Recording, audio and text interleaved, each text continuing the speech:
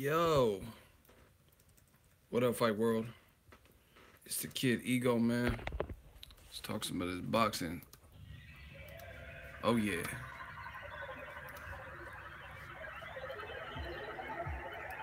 Welcome, welcome.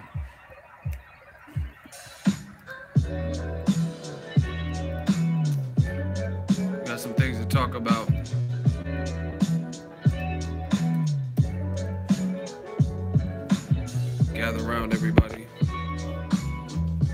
Boxing Ego 2018. Let's get it. Shout out to Ego Army, though. Ego Mafia, I told you, we are the mob. Money on top of boxing. Some people keep saying money over boxing. Never that. Money on top of boxing. We got to get this money, but we still love this sport of boxing. 2018, let's go. Shout out to everybody that fell for the mousetrap, too. I like that.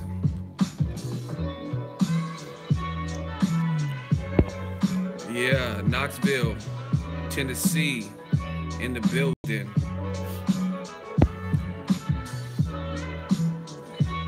Let me do my stretches. I didn't do any hot seats earlier. You know, I might get one. Actually, I think I did like one. I gotta make sure I stay ready for the buffoons. who try to invade my space in the hot seat. Happy New Year.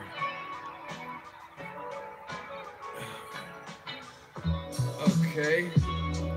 Let's get it. Let's talk some of this boxing stuff. Thurman gonna get Spence. Told y'all, 2018. Let's see it. Period. West West, y'all, man. Listen, the other thing is, I'm not. This is not. I'm not saying it always works like this, because I've seen times where like Charlo was really calling out. I mean, uh, J Rock was calling out Charlo, and then he lost the fight. But sometimes, a lot of times, when the um, when someone's like super aggressive, they really want the fight, and then when I, me personally, when I start seeing the opponent make see listen because even the charlo j-rock situation is different because j-rock i mean charlo was never he wasn't using he wasn't using any excuses to not fight charlo. You know what i'm saying? Hold on. Charlo was not using any excuses to not fight j-rock. You know what i mean? Versus like the situations like keith thurman he's making it seem like he doesn't want to fight Errol Spence Jr. So I can't actually, now that I think about it, I can't think of many situations where someone was aggressively being called out and the other per- person was making like reasons to wait for the fight, where that fight was an easy fight. Even Canelo versus Triple G. They prolonged it, prolonged it. You've seen it was a difficult fight for both fighters, not just Triple G, but also for Canelo. You know what I'm saying? So I don't know with the whole Keith Thurman situation. Because if you really think about it, Kell Brook was doing similar stuff to Errol Spence Jr. You know what I mean? He was like, "Oh, nobody really knows him, and why should I fight him next?" and all this stuff. Who sound like a cheerleader? Who sound like a cheerleader? That's what I want to know. Who sound like a cheerleader? Me? Because we might have our, our first hot seat. If that's directed at me, y'all will learn. Yeah, but the whole Keith Thurman situation, he's making it seem like he doesn't really want to fight Errol Spence anytime soon. And that's the same thing Kell Brook did. You know, nobody's really knowing him. No one knows who he is and all that. Hold on one second.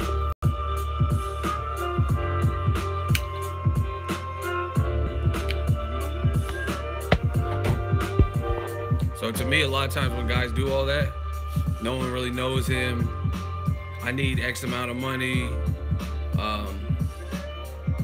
Just multiple interviews where it doesn't look like they want to fight. I think it's because they know it's a tough fight more often than not.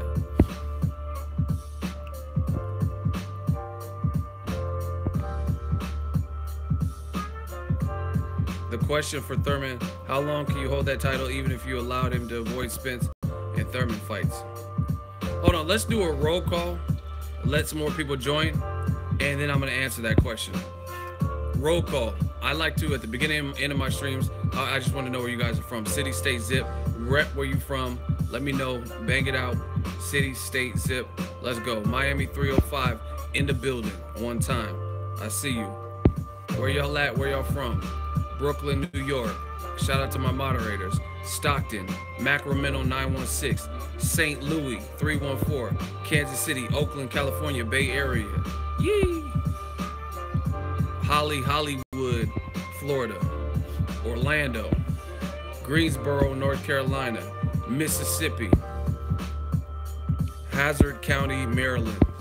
Let's go, man. Where y'all from? Hawaii. Where else? Yes, where else? Where else? What else? Chicago. Chi-Town. That's it. We just got people in like five states.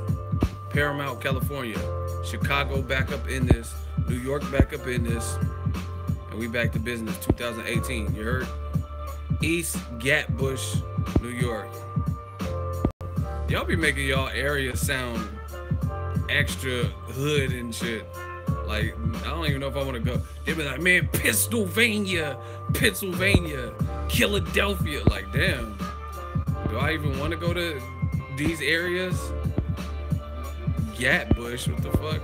Anyway, Portland, Oregon, LOL, Houston, H-Town. Y'all making these areas sound treacherous. Fucking Murderville, Kansas. Like, damn. Murderville, fuck. Catch a body in Kentucky. Like, y'all could have just said, like, you know what I mean? Like, Kansas City.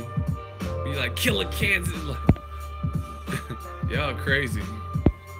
Chop your head off Kansas. Like, chop your head off Kansas. Like, fuck.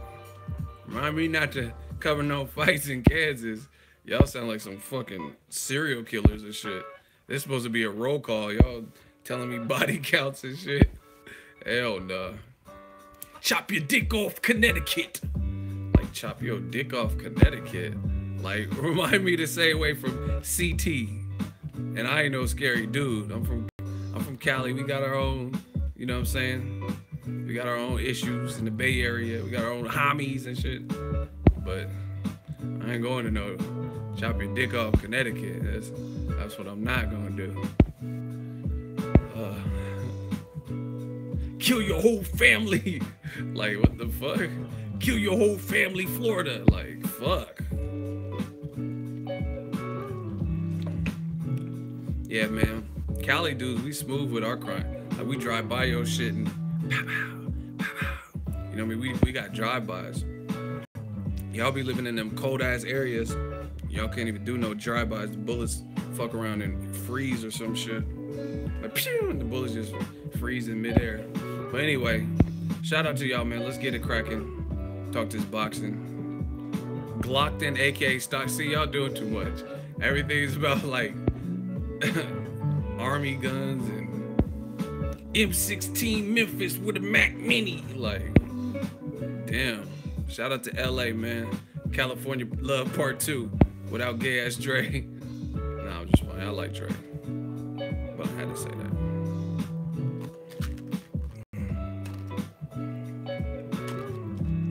Y'all, y'all proud of the murder rates in y'all, y'all cities and shit. Like, where are you from? Be more. They gonna be more bodies. Be more murders. Like, you could have just said Baltimore. Be more. Be more drug slanging and be more killings. That's why we call it be more, cause they gonna be more of that shit. Be more beheadings. Be more murders. Like, damn. Man, shout out to y'all. Yeah, man, we got the hats and shit coming soon. You know, we try to stay ahead of the curve. And Ego Army's just getting stronger, so it's, it's you know, I mean, I gotta do it. The fans keep telling me. The fans run this. Eating these Tic Tacs. I know a lot of y'all care about what I'm eating or drinking. What's that? Y'all be trying to put hella. I'm not one of these new little rapper, little ego and shit. That's you know what I mean. That what is that Xanax? Like nah, it's, it's Tic Tacs. Dallas is bad, I bet. But um, let me get back to that Keith Thurman situation. The bottom line is this: this is the best way to put it. No disrespect, to Keith Thurman. He has two belts, but to me, he's coming across like he's Mayweather, like he's accomplished what Mayweather has, and it's the situation to me is is he's being confined because you got one guy coming up all the skills in the world, Terrence Bud Crawford, who even though he hasn't had a fight there, he looks like he'll. I mean, if it's a continuation of what he did at 140, then he's gonna be a good fighter at 47. I mean, put it this way: you could say whatever. Oh, Crawford ain't done nothing. He ain't done nothing at 147. He didn't do nothing. But guess what? When he moved up to 135 to 140, he hadn't done nothing initially. But by the time he left that bitch, he had collected all the belts. So you know what I mean? A move up, it's a process. Nobody say he's gonna go in and immediately fight Keith Thurman, but if we're judging off history, people like that have cleaned out a division or seem like they have the potential to clean out. You know what I mean? From Lomachenko to Crawford to Andre Ward, Floyd, Pacquiao. I mean, you would imagine they would have success based on their their styles and skills if they move up. So I'm gonna give Crawford based on what he did at 35 and 40. I'm gonna give him the benefit of the doubt and say that yeah, he's gonna probably have a, a success up there. Can he beat everyone? I mean, we're, we're gonna have to find that out. But it's why Keith Thurman's kind of backed into a wall because you got a guy coming up, and you say, oh, he's not relevant. Okay, fine. But Errol Spence is relevant, and then Keith Thurman's still kind of making reasons why that fight needs to wait. He's like, oh, this is gonna, I didn't get Mayweather, I didn't get Pacquiao, so if this is my big fight, then we gotta let it marinate. I'm not really checking for him. I got mandatories. Like, word up. Like, listen to Deontay Wilder's mandatory mentality. He knew if he fought Bermane Stiverne, some people could still try to make excuses. And he told you out his own mouth. See, people, when I talk, I talk realistic boxing. There's like, you could do a paper trail on the shit I'm saying. I mean, not everything, because some of it is just pure opinion. But a lot of it's based on um, what I've seen and heard. Yo, we got to get the likes up. We have almost 100 people in here, and the likes just immediately stopped. So I understand you guys want to leave comments, but to make these live streams really work and beneficial for you guys and me and to go longer, the engagement has to be there. There's no other way to put it. Y'all got to hit the like button, especially with the haters. Ego Army, stand up. You know what I mean? I got people hating videos just just for the fuck of it. Fuck it. Let them do that. But we got to do the reversal of that. Fair? Cool. Because I, I've been getting a lot of time to these live streams. Not saying I'm like, my time is more important, but it's the turn of the new year. And I'm up here live streaming twice in a day and shit. So show that same love that I'm showing y'all. Um, anyway, Keith Thurman, you got a guy coming up who's talented like Crawford. Okay, you say he's not relevant, but then why not fight Errol Spence Jr.? You know what I mean? But look at Deontay Wilder. Look at his um, mentality for his mandatory Bermane Stiverne. He's like, man, I don't want to fight Bermane Stiverne. I want to pay him step aside money because basically he felt he wouldn't get the credit because he's been inactive. He got knocked down in his last fight and he hasn't really had much fights. Shout out to Jay uh, Vincent, $2 super chat to kick it off. Shmoney gang. Pray to the Shmoney gods. Thank you. But Wilder himself, he he initially didn't even want to fight Bermane Stiverne because he felt people would make excuses and he wanted Stiverne to be, you know what I mean, fight Dominic Breazeale or something, get a win under under your belt, some activity, and then there could be no excuses. So he was willing to pay his man step aside money, step aside money just to not face the mandatory, right? And even Joshua, Joshua versus Klitschko, Joshua knew it's a big fight, it's a big money fight. Fans would like a rematch, so he was willing to pay Kubrat Pulev step aside money in order to make Joshua Klitschko 2 a reality. And in my opinion, based on the first Joshua Klitschko fight, had that rematch happen, that's a more difficult fight for Joshua than Kubrat Pulev. So props to Joshua because he was willing to pay step aside money to the easier fight, which he clearly could have said, "Hey, it's, it's my mandatory. I've already beaten Klitschko. I knocked him out. Why? Why don't? Why do I have to fight him?" You know what I mean? But he was willing to really risk it. I mean, bottom line is this: it's not even about triangle theories. Klitschko beat Kubrat Pulev. Let's not kid ourselves. He he knocked out Kubrat Pulev, and Joshua was willing to rematch him. And the only reason the rematch didn't happen is because Klitschko decided to retire, which is his choice. But Joshua himself, just like Wilder, he was willing to avoid his mandatory to take the tougher fight. Just like Wilder was willing to push Bermane Stiverne, take some money out of his purse or however it works to pay Bermane Stiverne to take the tougher fight, Luis Ortiz, which it looks like we'll still get. But at the time, we didn't get it because of the drug test, right? But Keith Thurman, he keeps talking about, oh, I'm to have to fight Sean Porter again. Danny Garcia, it's like he wants to fight his mandatory. Like he's checking for that, knowing Errol Spence would give him more stripes and be a bigger fight because Porter and Garcia, we've already seen Thurman. If, if we wanted to, there, no fantasy, we can get on YouTube, go to Premier Boxing Champs, and type in um, Thurman Porter full fight, or somebody will have it on YouTube probably, shit like that. So any way you slice it, that's what I don't like. I don't like when fighters don't give credit when we know what it is. You know what I'm saying? We we know what it is. The real boxing fans, people that matter, that people that are paying, would easily give Thurman more stripes by beating a fresh guy who has a lot of momentum, been getting a lot of praise, like a Crawford or a Spence, than anybody Thurman's already beaten. Period. How can you disagree with that? How can you say I'll give a guy more credit for beating a non-champion at the moment, like Sean Porter or Danny Garcia, that you already beat, than a champion who has a lot of momentum and is considered the boogeyman of the division, or Crawford is considered pound for pound number one. So let's not play games here. And that's why there's that's why I say everything's kind of closing in on Keith Thurman. Because he's already admitted that he knows that people he says, Y'all keep asking me about this Errol Spence. He's a good fighter and stuff. So you've already admitted and acknowledged that the fans are are on your line about fighting Errol Spence Jr. And again, you get all the credit. I don't think a Porter fight or Danny Garcia at the Barclays would be massively bigger than Errol Spence, especially if Spence beats Lamont Peterson. You know what I mean? Uh, Spence has fought in New York a couple times. Leonard Bundu, Chris Algieri. So if he gets past Lamont Peterson, put that shit right at the Barclays, like they've been putting a lot of big fights, and boom, boom, boom. so I mean, we know what it is, and I just like, I just wish boxing and fans and promoters and all this shit. I wish they were honest, like. If if just say what it is, you know what I'm saying. If you don't want to fight Spence for some other reason, like oh, I would res- honestly, I'm not even lying.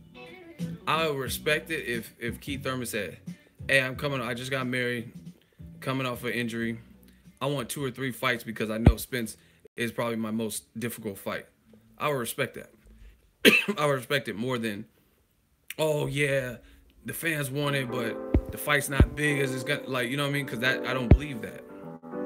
If you just said, "Hey, this is my most difficult fight. I could beat the dude, but let's build up to it," then I wouldn't have no, I wouldn't have as much of a problem with it. You know what I mean? But what happens in boxing is that pride. You get that that heart beating and stuff, and then people will say like, kind of like downplay a guy, like, "Oh, I'll knock him out," or "He's cool, but he alright."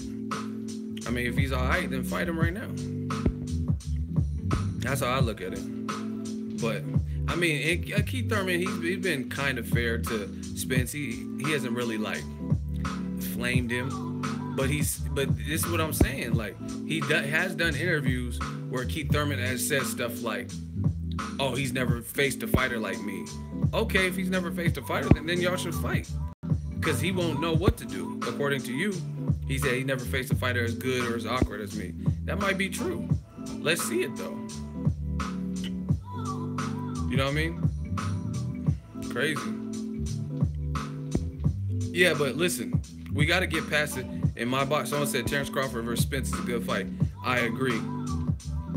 But it's bullshit to expect Terrence Crawford, even though he probably wants it. I'm saying from my perspective, it's bullshit for Keith Thurman and Errol Spence has been a thing for longer. Floyd Mayweather mentioned it years ago, and it never happened. So it's bullshit for Crawford to come into the division, fight Jeff Horn, and be fighting Errol Spence before Keith Thurman and Errol Spence fight.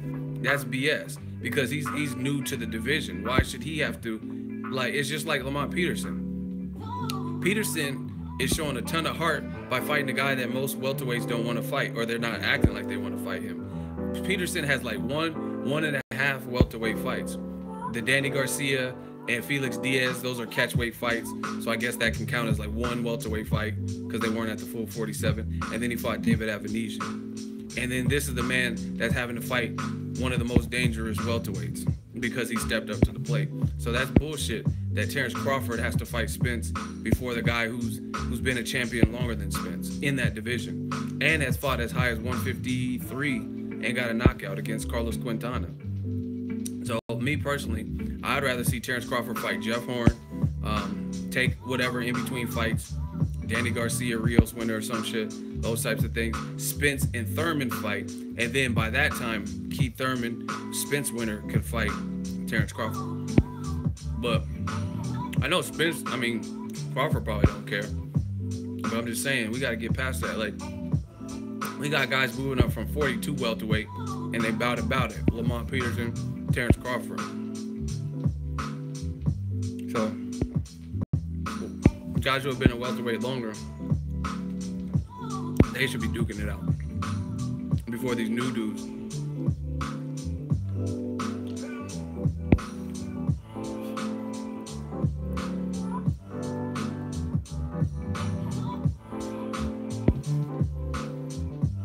I don't really do pound for pound. Like I said, it, it would. It's not worth my time to be honest. I got a lot of stuff with my time, and that's one thing that's not worth it. But it's usually pretty easy to recognize the number one person. Number one is Terrence Crawford. It was Andre Ward. He retired. Crawford slid from number two to number one. So that's all that matters. Because everything beyond number one is is even more speculation. Usually the person in the number one spot has created some type of separation. You know what I mean? To the point where you can make a more sound argument. Lomachenko's good, but he's not number one. Period. Here, we might get a hot seat. Hit the like button if you want me to expose the game and get that hot seat cracking. I feel like I feel like warming it up, and I know this Lomachenko topic is gonna warm it up for y'all. Let's get it, man. Hit that like button.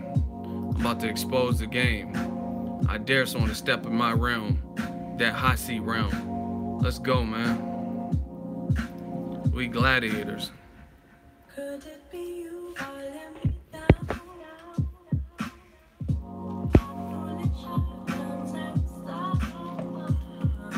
Listen.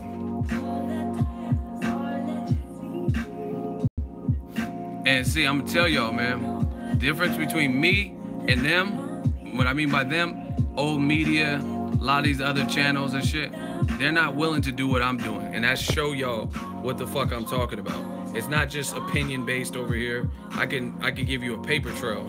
And that's always gonna be more important than other shit. You know what I'm saying? I can show you where where it makes sense and, and where I get my information and different shit I seen.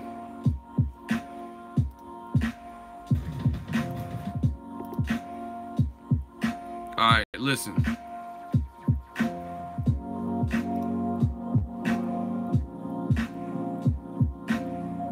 Y'all ready for that work? Y'all ain't engaged enough for this. You know, I'm not even gonna talk about this now. I need more engagement. We got over 100 people in here and we don't have 100 likes. So I'm gonna save this category until I see more engagement from y'all. Because if the engagement's not there, then I'm not gonna keep going over this stuff.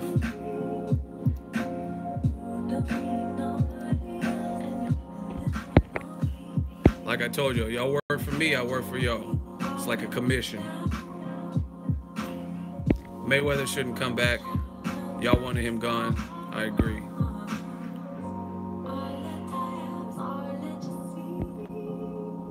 Oh, we going to shout out to 89 Till Reyes. He says, I want to see Loma fight against top level Mexican fighter style, Vargas, Berchelt. We're going to talk about that because that's actually what this has to do with.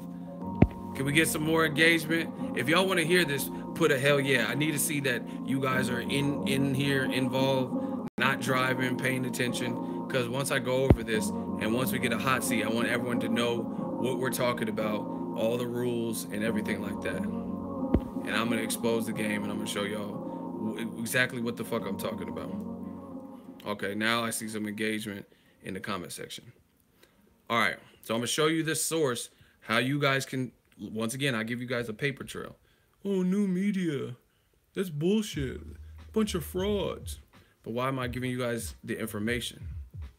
You know what I mean? Why am I giving the information on how to to reach the the same if you you know what I'm saying? If you want the same information that I seen, I'm telling you how to get to it. You feel me? So let's get it, man. Yeah, we got the engagement up. I got some hell yes. Okay, so I'm gonna show you how to get there first. Okay, Bob Arum did an interview with Fight Hub. Check them out. 69 likes, 64 dislikes.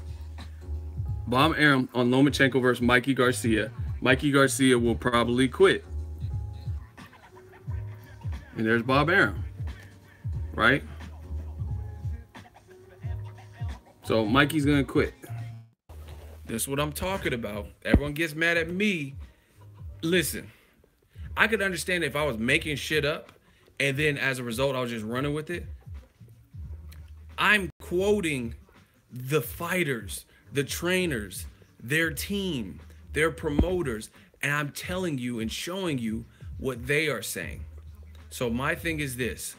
I feel Vasil Lomachenko versus Mikey Garcia if we are going to hold, and I told you, this is where the media does not do Lomachenko service because instead of just letting him prove his greatness, they want to prematurely say he's pound for pound number one, like they did Chocolatito. He's skilled, but to say he's better than all these other people with three times as many fights and undisputed and Golovkin undefeated and whoever else, Canelo, better resume than Lomachenko.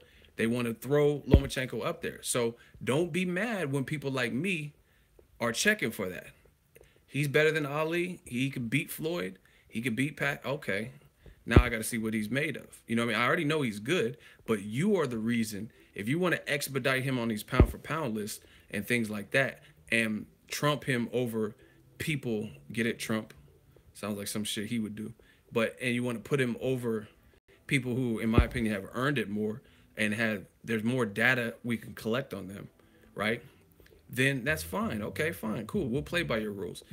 But you can't be saying stuff like Mikey will quit. Mikey Garcia will quit versus Lomachenko and me not want to see that. That's a good ass fight. Everyone keeps listen. They get mad at me. Oh, you're protecting Gervonta Davis. No, I'm not protecting him. If he wants to fight Lomachenko and they make a fight, Cool, but he doesn't have a belt. he's not ranked with the WBO.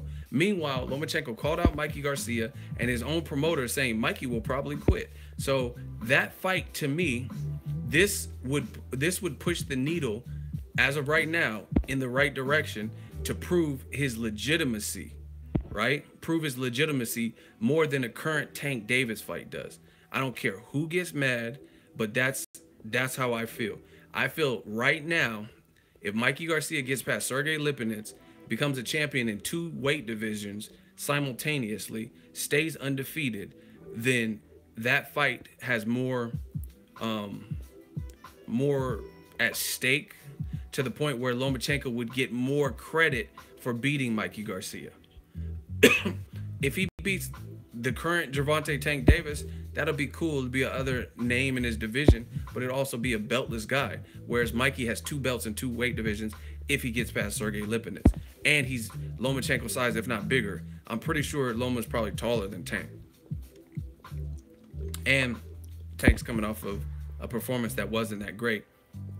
If Mikey beats Sergey Lipinets, that'll be beating a fresh champion at 140, a weight class that's not even his permanent home beating Broner in a dominant fashion. I was there in New York, and then knocking out a champion at 135, Dejan Zlaticanin, and with a 91% knockout ratio. So yes, the implications for beating Mikey Garcia would do a lot better to prove where Lomachenko really should be in terms of pound for pound. If you make Mikey Garcia quit, that proves more to me, even though he doesn't have two Olympic gold medals, than a guy coming up two weight class with two gold medals. Because we know when two great fighters fight, but one has a weight, a big weight disparity, then you know what I mean. Things, things could favor the guy who's skilled, skilled, but less, less in terms of size, mass, right?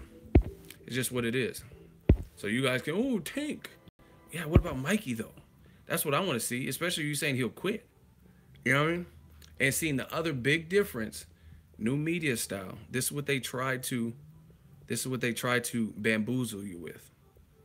Mikey is obliging him and his team, Lomachenko. Mikey, I have several videos. He said, I'll be your Huckleberry, which is a direct quote from one of my favorite movies, Tombstone, with Val Kilmer, who had a raw ass character, Doc Holliday. Meaning, like, I'll be your, you know what I'm saying? Like, I, like, I'll step up. Let's go. Let's have a old, old Wild West showdown and see who's the best gunslinger. Robert Garcia, trainer and brother of Mikey Garcia, said, "Oh, Mikey, I think Mikey's too big. Mikey's too big for you know what I'm saying." So he's down for the fight. But from Mayweather, Leonard Ellerbe, and Tank, I haven't really seen them oblige and say like, "Yeah, this is what this is the direction we're looking for." So why keep picking on the person that doesn't look like they're trying to fight you, that probably wants to get their belt back and go their own path and then meet with you and down the down the stretch? You know what I'm saying? Versus a guy who, again, if he beat Sergey Lipinets, two belts in two divisions. You guys can get mad if you want. But again, look at this video. Bob Arum on Lomachenko versus Garcia. Mikey will probably quit. Now, Mikey was Bob Arum's old fighter, right? He's his old fighter, and he's saying this about him. So it's already a backstory. Mikey Garcia was the Lomachenko for top rank at a point in time. You know what I mean? Because I think Donaire had lost to Pacquiao. You know what I mean? He got knocked out and all types of shit. Then Donaire had lost to Rigondeaux. So, you know what I mean? It was like kind of like Mikey was the superstar who was still undefeated. Now that he's left and he's on the other side with Showtime, Bob Arum has all this stuff to say. Mikey is a terrific fighter. He's a terrific fighter. But Lomachenko will make him quit. Like, you know what I'm saying? Let me see Mikey quit. Let me see Robert Easter Jr. quit. Let me see Jorge Linares quit. Let me see Miguel Berchelt quit. It's simple.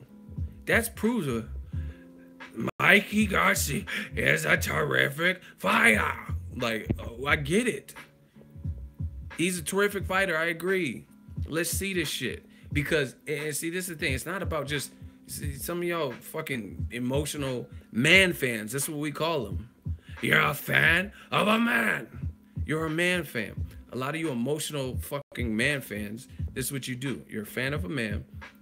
So you get mad at people like me talking about, oh, you just want to see Lomachenko. You want to see my baby Lomachenko lose. It's not about wanting to see him lose. I want to see him tested against a good style that would give him credit if he wins, or if he loses, then he loses. It's not, you know what I'm saying? Like, what are you talking about? It's not about him losing. There's no guarantee that he would lose to Mikey Garcia. However, I can make an argument on Mikey Garcia does this better. He has this strength. Lomachenko has this strength and does this better. You know what I mean? Okay, foot speed, clearly Lomachenko. Amateur pedigree, Lomachenko, right? Probably overall speed, Lomachenko. But Mikey Garcia, size advantage, power advantage. He does have ring IQ. They're both Actually, he's undefeated, and Lomachenko ain't undefeated. So it is that simple. It's that simple. It's not. You see, that's how I know when the when it's when we're dealing with man fans. Shout out to Poland. We're dealing with man fans. They talking about you just want to see Loma lose. You must not have faith in Lomachenko. You say he's better than Muhammad Ali, but then I name a good fight, and you say no. You just want to see him lose. Why should he have to go up and wait. And see, I'm telling you, Abel Sanchez does this for Golovkin. Freddie Roach does this with fucking every fighter he has, from Miguel Cotto to Pacquiao. And Bob Arum and Team Lomachenko are doing this for Lomachenko. What this is, what I am referring to, is they talk up their fighter, which is fine, promote them, which is fine. But sometimes they go above and beyond to the point where people were like, okay, let me see that. You know what I mean? Freddie Roach would say something. I guarantee that my my guy Miguel Cotto, he's gonna knock out Canelo in three rounds. Like I'm like, okay, he's gonna knock out Canelo. You bet in your house. Let me see that. And then it doesn't happen. Abel Sanchez, oh yeah, yeah, yeah. No, no guy from 154 to 168 goes 12 with Golovkin. Like, okay, but his last two opponents went 12 rounds with them. You know what I'm saying? Like Canelo and Jacobs, who's been stopped, went 12 rounds with them. So you said all that, and the same thing. Bob Arum, Mikey, he's a terrific fighter. He'll probably quit. Let me see. Let me see him quit. Don't tell me that to why should he move up five pounds? You just said he can move up five pounds and make the motherfucker quit. So why is it my fault that I want to see that? And if he does it, he'll get props. It's simple. And again, it proves more than if he were to fight certain people at this current juncture. now, you notice the cowards aren't coming out, the hot seat. So don't don't be fooled. Like I said, like Pac said, that like the Judas did to Jesus, they're only here to cause distraction. Don't be confused by dislikes and stuff. Where are those people that could step up and counter what I'm saying? We could do the hot seat right now. But they're cowards. They're not gonna step up. I'm asking them to step up. But anyway, um, here's the kicker. I'm gonna show y'all again. On this Fight Hub interview with Bob Arum, he says Mikey will quit. I'm gonna read the direct quote. I wrote it down. I'm gonna read the direct quote. Hopefully, Lomachenko versus Mikey Garcia will be made. You got to pay these guys a lot of money because they're not stupid. They're great fighters, which sounds funny because Rigondeaux and Walters didn't get paid shit but he knows Mikey Garcia is not stupid and he's been around the game and was formerly signed to top rank. So of course he's gonna say these guys want a lot of money, they're not stupid because he knows Mikey's not stupid. And game goofy and gonna just accept 400 thou or 300 thou for a big fight. Garcia is a great fighter. Jorge Linares is a great fighter. But ask them deep down, do they have a chance with this guy? They'll tell you no. I totally disagree with that. I don't think Mikey Garcia is selling wolf tickets I don't think most fighters, whether they can do it or not, I don't think most fighters like are are feeling like, oh, I'm gonna get my ass whooped by this dude. You know what I mean? Even if it looked like they were ducking, they're fighters. You know what I mean? So I don't think Mikey and Jorge really think deep down inside they can't beat Lomachenko. Right? Bob Arum says, I think right now, listen, listen. Now we're gonna get somewhere, people. This is what I'm telling you about top rank matchmaking. Y'all don't have to take my word for it. Go watch the interview. Now listen. Shout out to my dude AK.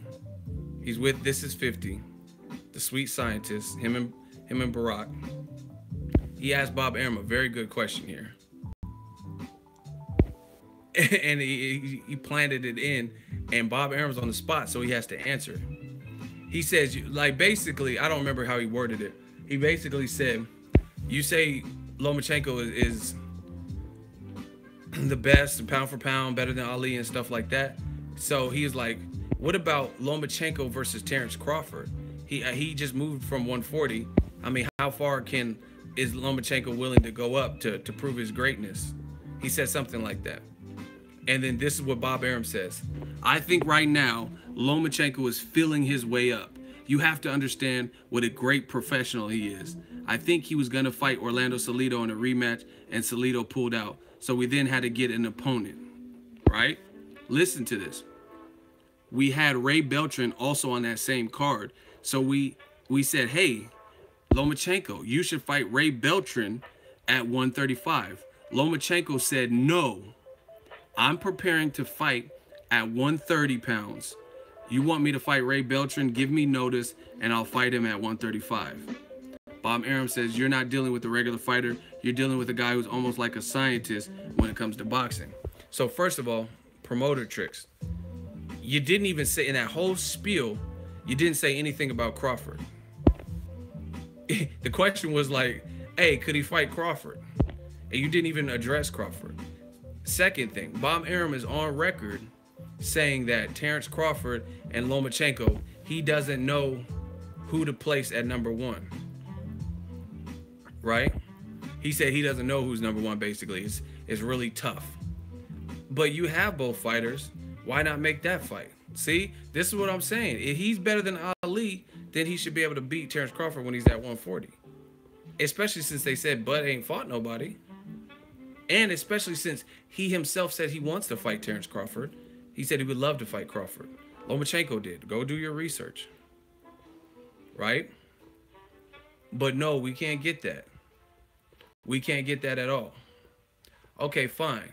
Crawford's moving up to 47. Doesn't look like Lomachenko's moving to 35. And definitely not 140. Okay, fine.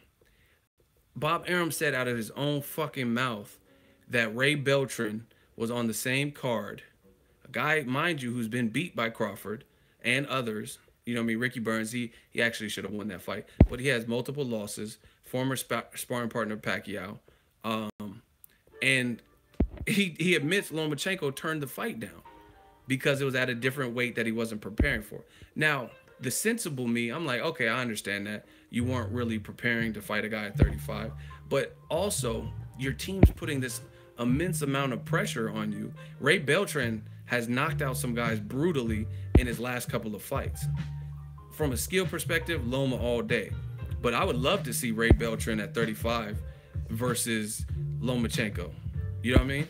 Because Ray Beltran, I know, has cracks. He's Mexican. You know what I mean? We know the one style that has been known to defeat Lomachenko is also a style that he doesn't fight.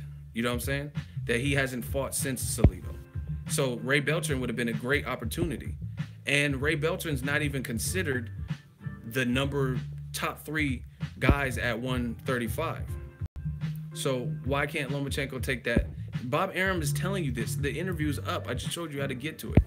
But Lomachenko can't do the rip. Lomachenko just fought Rigondeaux, who who had three fights in three years.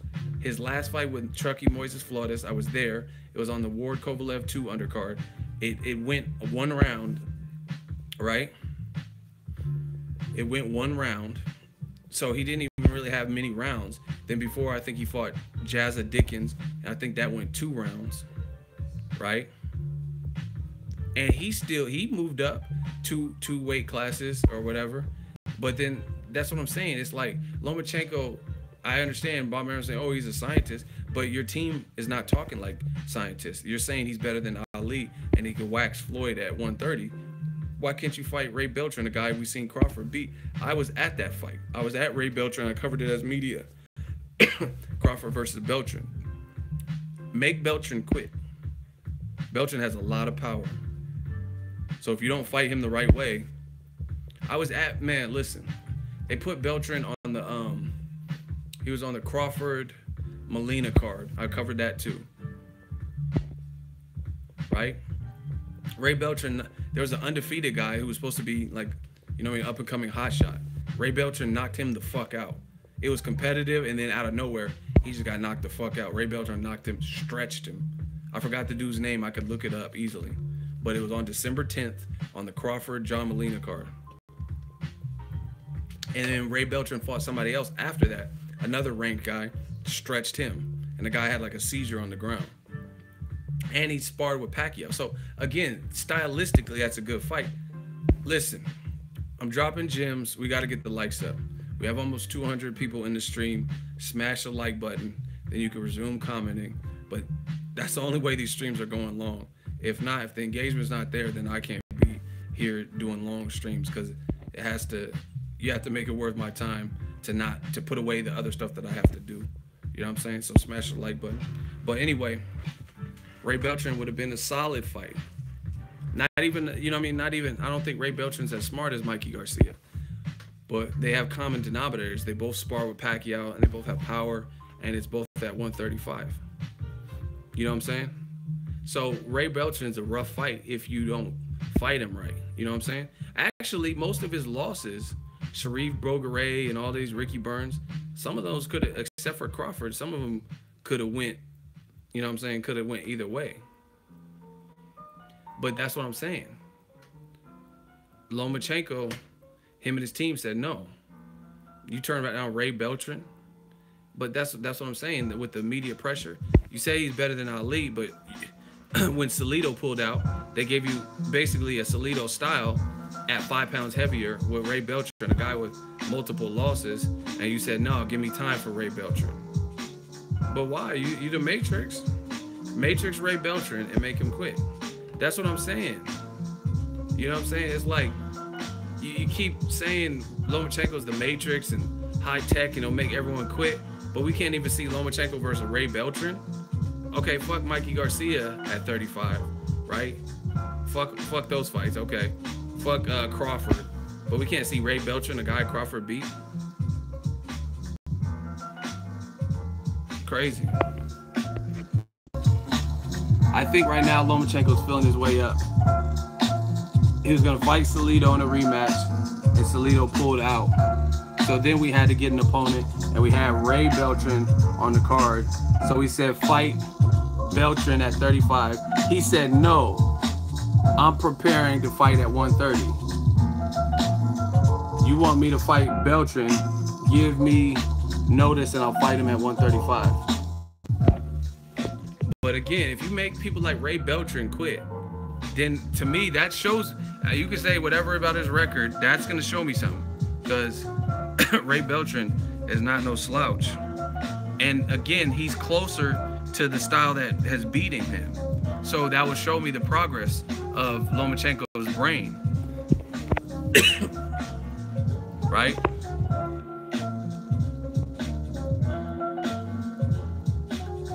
And he has like, look.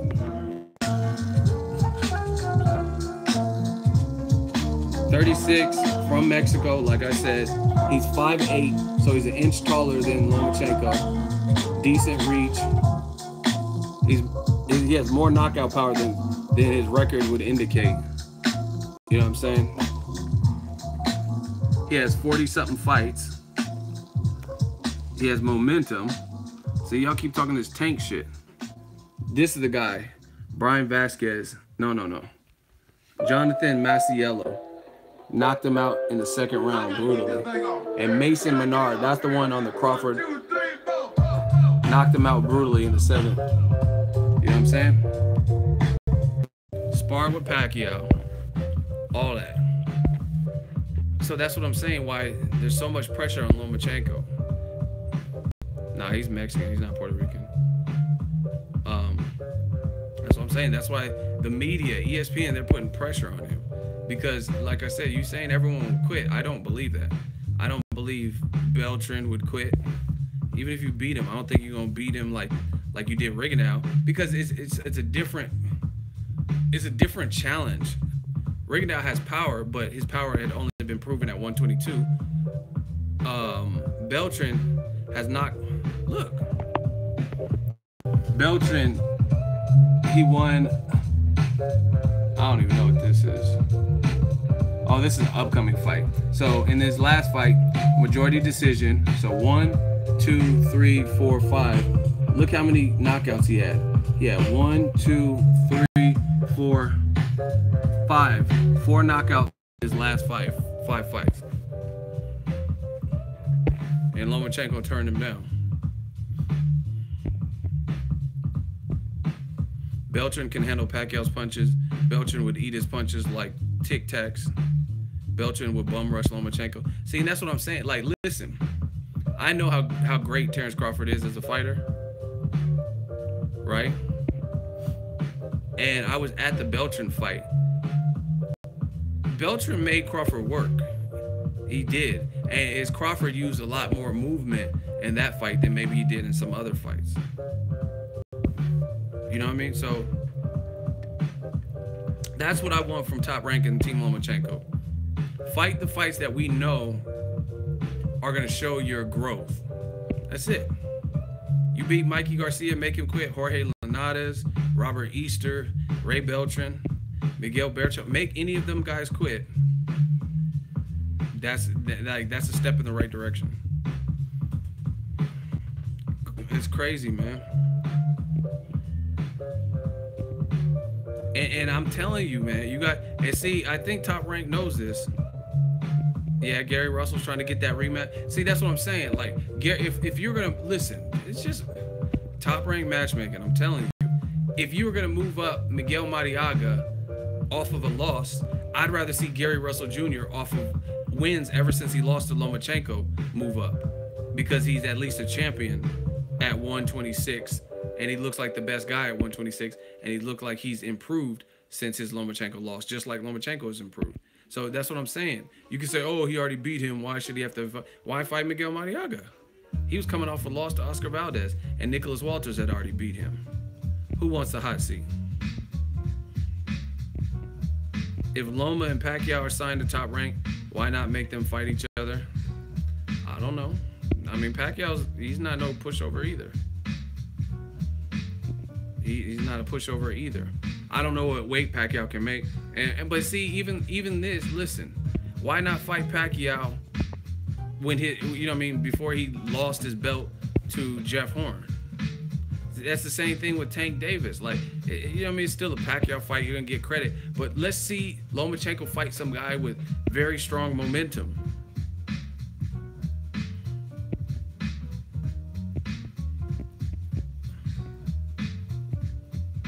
All right, we got a hot seat. His name is Puerto Rican Black Man. Well, you're you're Puerto Rican black man. You you in the hot seat. He says Marriaga was a short notice replacement. You acting like he planned way in advance to fight Miguel Marriaga. Okay, so how is it short notice? And we going we gonna see how much you know, Puerto Rican black man. How how was that short notice?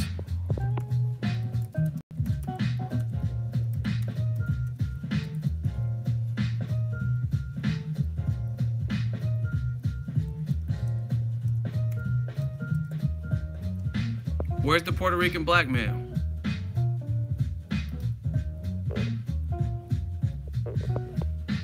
Where he at? Where's the Puerto Rican? Because they had a set date in the fight. Salido pulled out because of a hand injury. Everybody type, you know you done fucked up. You know you done fucked up, right? You know you done fucked up, right? See, I don't know where you get your information from, but I do know you know you done fucked up. You done fucked up, right? So he says he's in the hot seat, and he said something about Salido and a hand injury, and this was a late replacement. ESPN, Vasil Lomachenko, Terence Crawford. Vasil Lomachenko, Terence Crawford to headline live ESPN cards in August and this was published January 30th. So, somebody tell me what what month comes after June? Somebody tell me. You know you done fucked up. What month comes after June? What month comes after June? Anybody know? Like, have a calendar? What month comes after June? June, July, and then August.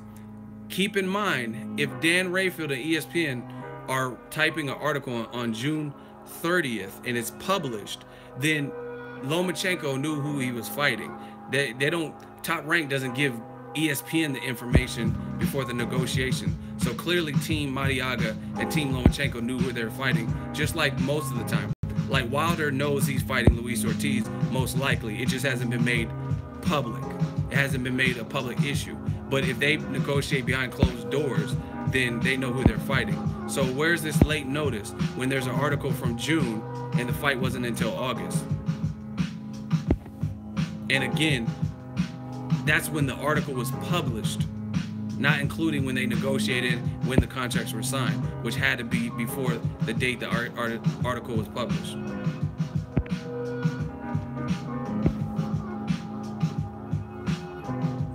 Man, get this get this black man Puerto Rican out of here. Let's vote. Is that he he's blaming on Salido. and saying Marriaga was like a late replacement. A late replacement, and it really wasn't. Put your L's up. I just showed you. Because they were negotiating with Salido and everything, he claimed hand injury. Salido don't matter because no matter what happened with Salido being injured, this was still agreed upon. The ESPN deal was set in place, and I'm showing you as far as June, and the fight wasn't until August. So that's not really late replacement, even if the negotiations with Salido failed. Man, get this boy out of here. One of my mods, light him up. Flame this boy. No one else is gonna step up. Now you making up shit. You don't know who. Gary Russell said, I'll fight him at anyway. Did they contact Gary Russell? Hey, listen, we're having a candlelight vigil for you, Puerto Rican black man. Everybody put your lighters up. Everybody say a prayer. Close your eyes. Shout out to St. Mary. He got burned in the hot seat. We gonna put our candles up for you, man. Hey, get him out of my stream. One of my mods, St. Mary don't want him here anymore. Put your lighters up. Another one bites the dust. we having a candlelight vigil. See you at the crossroads. And I gotta miss everybody. Y'all think y'all can fuck with me? Once again, I might have to just do do the whole stream with this.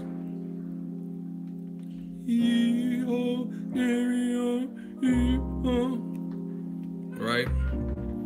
Now he you see how their argument changed? At first he said it, it was a late replacement, Marriaga, when I showed you that a deal was in place at least at in June. So Orlando Salido don't have nothing to do with it, even if they negotiated with him and the fight fell apart.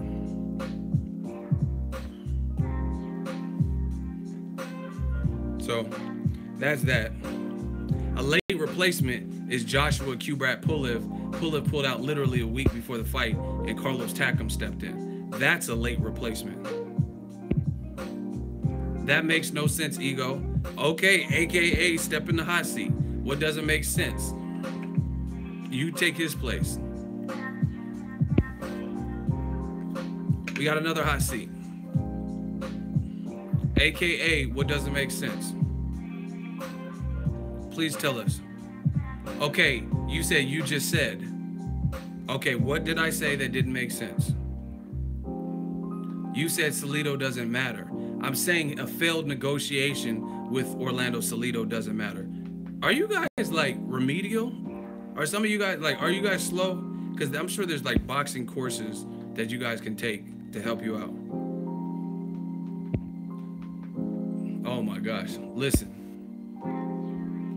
I'm saying Salido, even if Lomachenko's team was negotiating with Salido and he pulled out because he was injured, he pulled out within enough time where they got Marriaga and it wasn't a late replacement. Because if it was a late replacement, it would have happened. There wouldn't be an article talking about Lomachenko fighting in August, in June, on ESPN.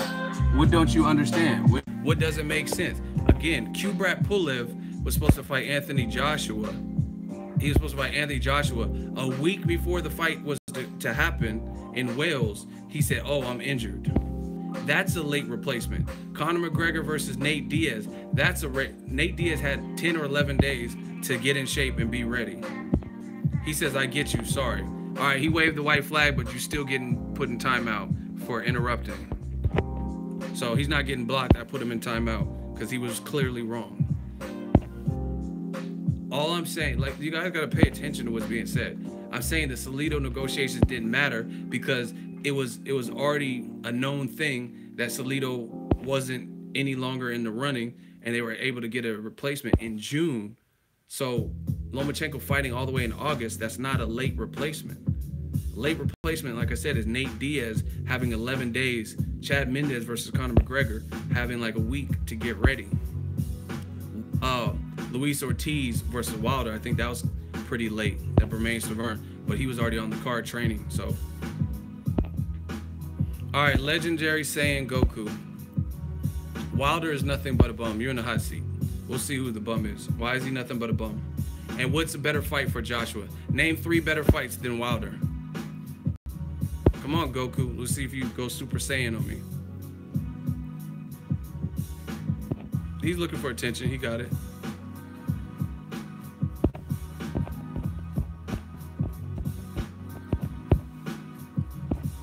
All right, you have 15 seconds. 12, 10, 8, 5, 1. Eh, eh. What do you have to say? Because I seen you were putting all these messages promptly. Now that your ass in the hot seat is taking forever. Okay, so you ain't Super Saiyan? You were just looking for attention? Well, you found it. Block L. who next? I want who next. Easy caskets, man. Nah, he didn't respond quick enough. Fuck him. He was responding quick, very quick, and then I put him in the hot seat, and it took forever, and he got counted out, and then I, I didn't see a response. So that's his bad. You know what I mean? Like I said, you guys will learn with the hot seat. Much easier to just say whatever you want to say without backing it up than it is to to perform. Like me, I could say, "Oh, I'll fuck Michael Jordan and Kobe Bryant up in their prime." It's much e- it's much easier for me to say I'll beat Mikey Jordan. I mean Mikey Michael Jordan and Kobe Bryant one on one than it is for me to prove it. Ego, are you cross-eyed? No, but you're blocked. Blocked. Come get these bodies. 2018. we gonna have a graveyard. So gruesome gaming, get your gruesome ass out of here.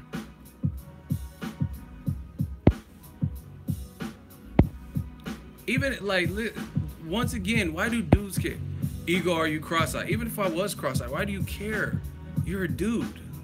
I mean, y'all know I ain't cross-eyed, but even if I was, you're a dude. Why, why does that pertain? What does that affect? What? That's what I'm saying. They're only here to cause distractions. What I miss, you two messing up. Oh, you! I just got three bodies back to back. Kill streak. Shout out to Howlin' Future, two dollar money gang super chat. Let's get it, man. 2018. We're just gonna keep picking up, rolling out the bodies. You know how it is. Tank is the most respectable fight for Loma at 130. So the most respectable fight at Lomachenko of his career at 130 is to fight a guy without a belt coming off a bad performance. Seems legit.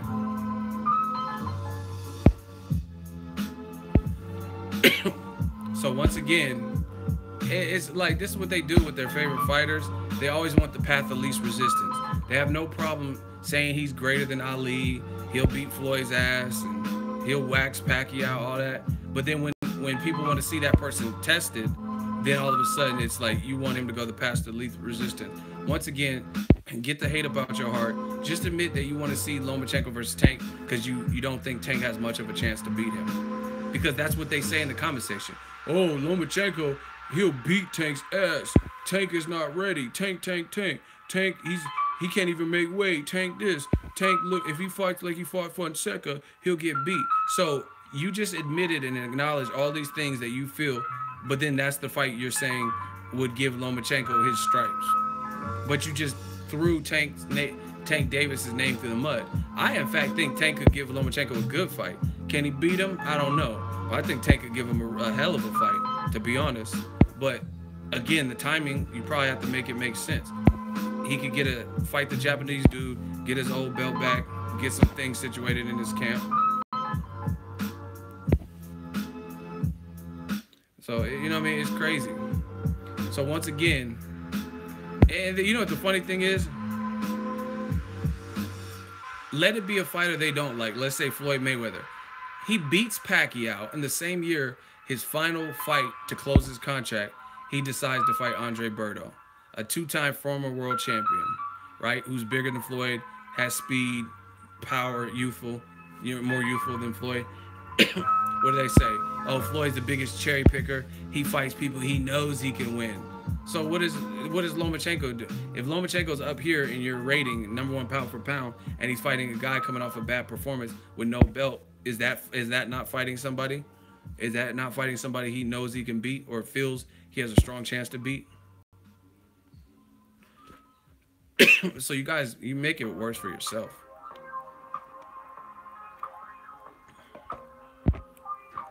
They always say Floyd is is cherry picking and picking guys he feels he can beat, but then you support Lomachenko targeting more so than other people that'll probably be fights that, as of right now, will give him more credentials. Yo, Tank's a big name. Yeah, but Tank's not gonna give him the same notoriety at this point.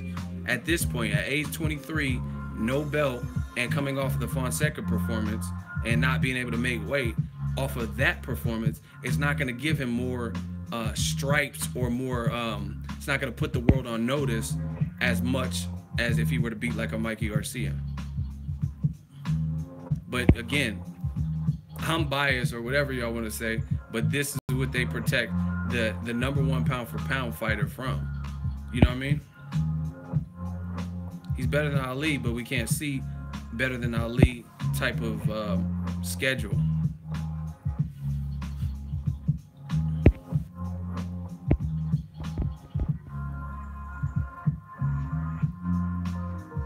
Loma got a decent resume, but he catches guys on the decline. That's why he wants Tank right now. See, that's what I'm saying. Like, why not fight?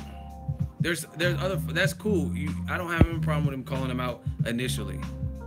But his team says they have other plans and you keep pushing this envelope. Why not fight Ray Beltran? You could have took that on short notice, took the risk, beat him. And Ray Beltran, if you're if you're if you're really if you're skilled, more skilled than Floyd Mayweather, Ray Beltran should be, and you're better than Terrence Crawford because they have you at number one pound for pound. You should be able to beat Ray Beltran easy. You know what I mean? Even if it's short notice or not. You know what I'm saying? You should be able to beat him if you are what they say you are. But eh, to me, that shows me that probably Lomachenko's team is realistic and they know Ray Beltran's a sleeper type of person where he has a lot of power and you would want to train for him which is, fair. That's fair. I'm not mad at Lomachenko for him and his team being realistic because I wouldn't want to I wouldn't want to sleep on uh, Ray Beltran. You know what I mean? But again, it doesn't co- the the bulk of this it doesn't coincide with what old media is telling us. If Lomachenko gives Floyd Mayweather hell and or beats Floyd Mayweather when he was Pretty Boy Floyd, then why can't you fight Ray Beltran on a shorter notice? And I just showed you the shorter notice was still a month and a half at least, at least a month and a half before the actual fight. So that's not enough time for you to cut less weight. Lomachenko looks pretty big. Crazy. So like I said, if you could beat Pretty Boy Floyd, what's Ray Beltran? Floyd, if you're better than Terrence Crawford, Crawford already beat Beltran. So you would just be fighting his quote unquote leftovers. I know a lot of boxing fans say that, but you know what I mean? You would just be fighting a guy he already beat convincingly. I was at the fight, right? But you need more time to prepare for him. But you can beat Pretty Boy Floyd. Crazy. Um, Crawford versus Horn. Does Horn get stopped? I don't know. I could see him getting TKO'd maybe. I don't know if he I don't know if Crawford will knock him out cold, but it could be just like later in the fight where Horn's just getting beat up, bloody, cut and discouraged and shit, and he gets stopped that way. I could see something like that or a decision. I mean, Horn's Horn's pretty durable, so either way, I don't see Horn winning.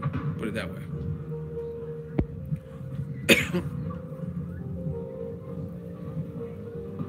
Eagles Hot Seat Demolition Man TV show. Damn, I'm possessed. Wonder if I could play the accordion too? Simon says, bleed. How did you know the password to the cuffs? I wish I knew. Simon says, bleed. Do you have anything fresh to say on your behalf? Yeah, I do. Teddy bear. Um, all right. And Antifa US, you in the hot seat. Let's go. Antifa hot seat. He says Terrence Crawford fights bums. So who's your number one pound for pound person?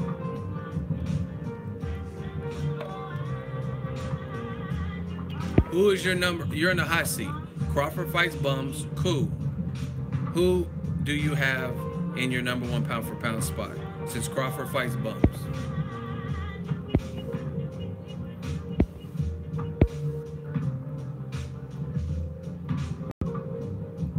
Where is he at, man? Okay, so here now we have a hot seat. Lomachenko's number one pound for pound to him, but Crawford fights bums. So let's play a little game and see who runs out quicker. I'll name a solid opponent, and you tell me someone Lomachenko fought that had more momentum, that is way stronger of a resume, and way better than that opponent. Like not even on that Crawford opponent's level because they're so much higher. Fair? Cool. And we'll see who runs out first. We'll go back and forth. Okay, Yuriorkis Gamboa, Crawford fought Gamboa when he was undefeated, right? And he's an Olympic gold medalist. Who has Lomachenko fought that was, like I said, like undefeated, gold medalist, and you would rate him over Gamboa that high, right? We'll see who runs out first.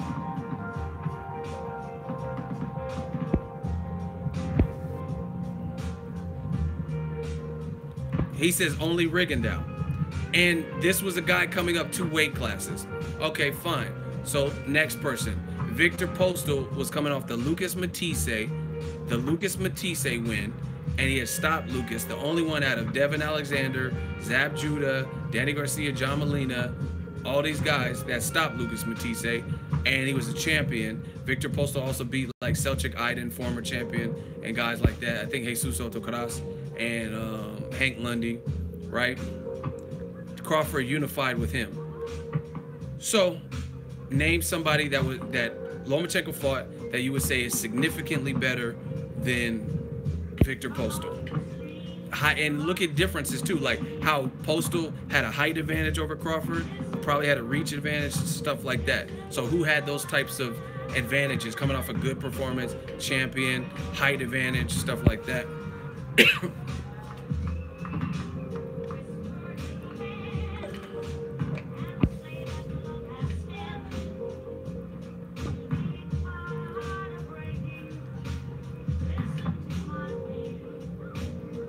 And the rule is you can't use the same opponent twice because you said Crawford fights bums, so you can't say Rigo Rigo.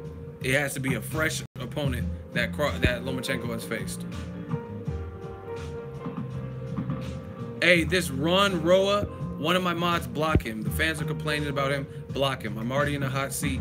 Don't have time for it. One of my mods, one of my shooters, get Ron Rona Noah Zero out. Get him out of here.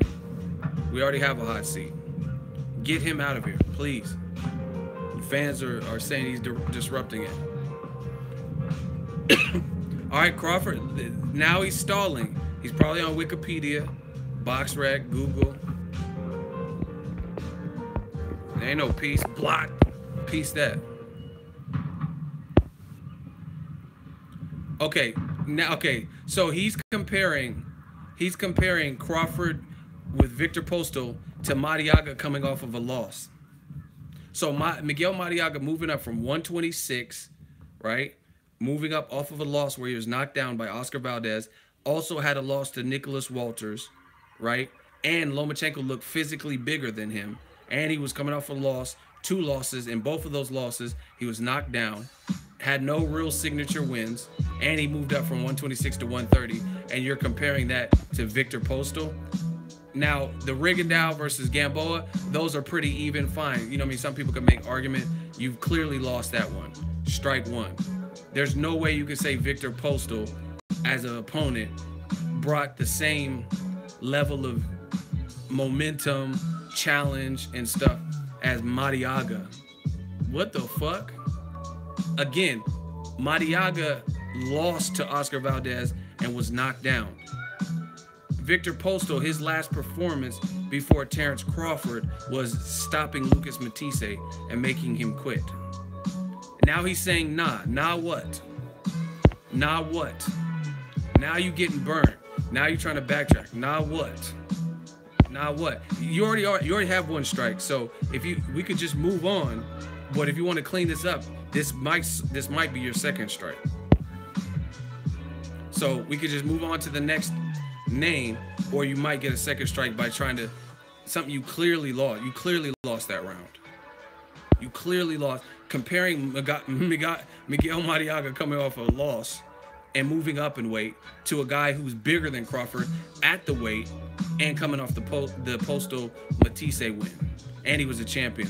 Marriaga wasn't a champion at 126, and he wasn't a champion at 130. You got cooked with that round. So you keep saying nah, try for your second strike. Or I could just continue talking about the bums that Crawford faced. It's up to you. Like Floyd said, how you want it? How, how you want it? Toe to toe? Okay, how you want it? Don't run? Okay. I'm giving how you want it. So I would suggest you move on instead of trying to clean this up because you clearly lost that. By the moment Marriaga came out of your mouth, you lost. You compared Marriaga, who wasn't even established at 130 off of a loss, to a guy who was considered a 50-50 fight for Crawford. So I'm gonna keep going. Next person, Felix Diaz from the Dominican Republic, beat Adrian Granados, Olympic gold medalist. He beat um, Sammy Vasquez when he's undefeated. And he arguably beat Lamont Peterson at welterweight, which was like 143. So he had experience at 140 and 147 and Olympic gold medalist. So Felix Diaz got dogged by Terence Crawford. So who did who did Lomachenko fight that you would say had those types of wins? A Sammy Vasquez undefeated win, arguably beat Lamont Peterson, beat a guy as tough as Adrian Granados, and had an Olympic gold medal. Joystick, you about to get blocked too. Keep sticking up for him. Felix Diaz is a little dude though. Well, his little ass competed at 147, so I don't want to hear that. And he talked shit about Crawford. He, he had called out Crawford for a year and said he was scared. So if you want to make excuses, then you'll be in the hot seat next. We're not doing these pussy ass excuses in 2018. So get blocked just like your friend, whoever else is in the hot seat right now. Anyway, so who's Lomachenko's win that you that you rate up there with Felix Diaz? Talking about he, oh, he was small, but he fought at higher weights than Crawford. So that takes the small thing out the window. Where's this dude at, man?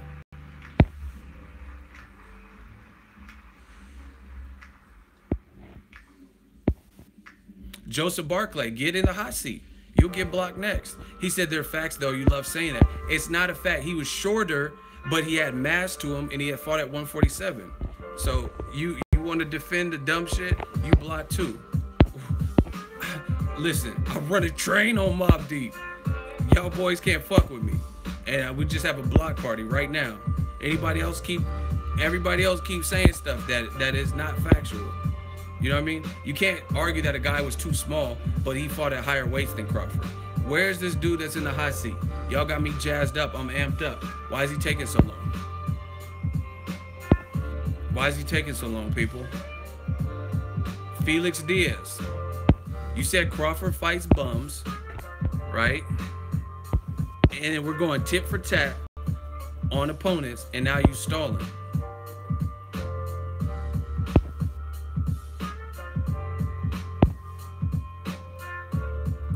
Yo, moderators, count him down and then block him. See how they disappear? This is straight gladiator stuff. He said Crawford fights bums, so we're going head up with our different arguments, and then he just stopped arguing, stop debating in front of y'all. I mean, if that's not waving the white flag, I don't know what is.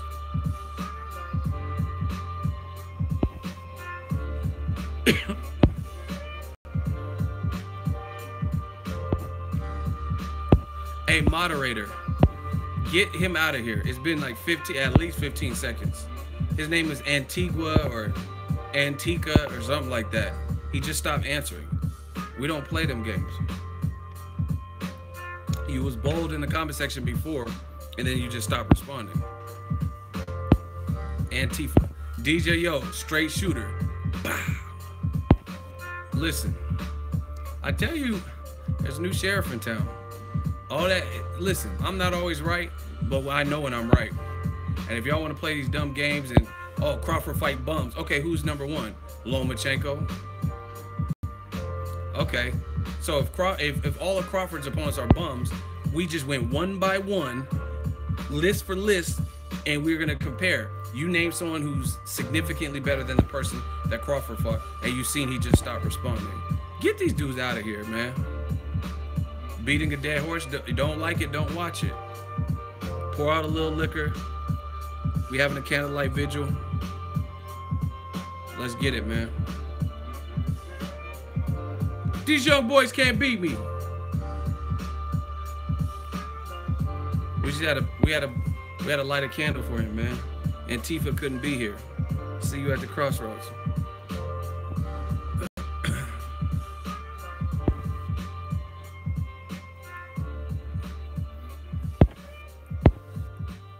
Listen, that's what I said.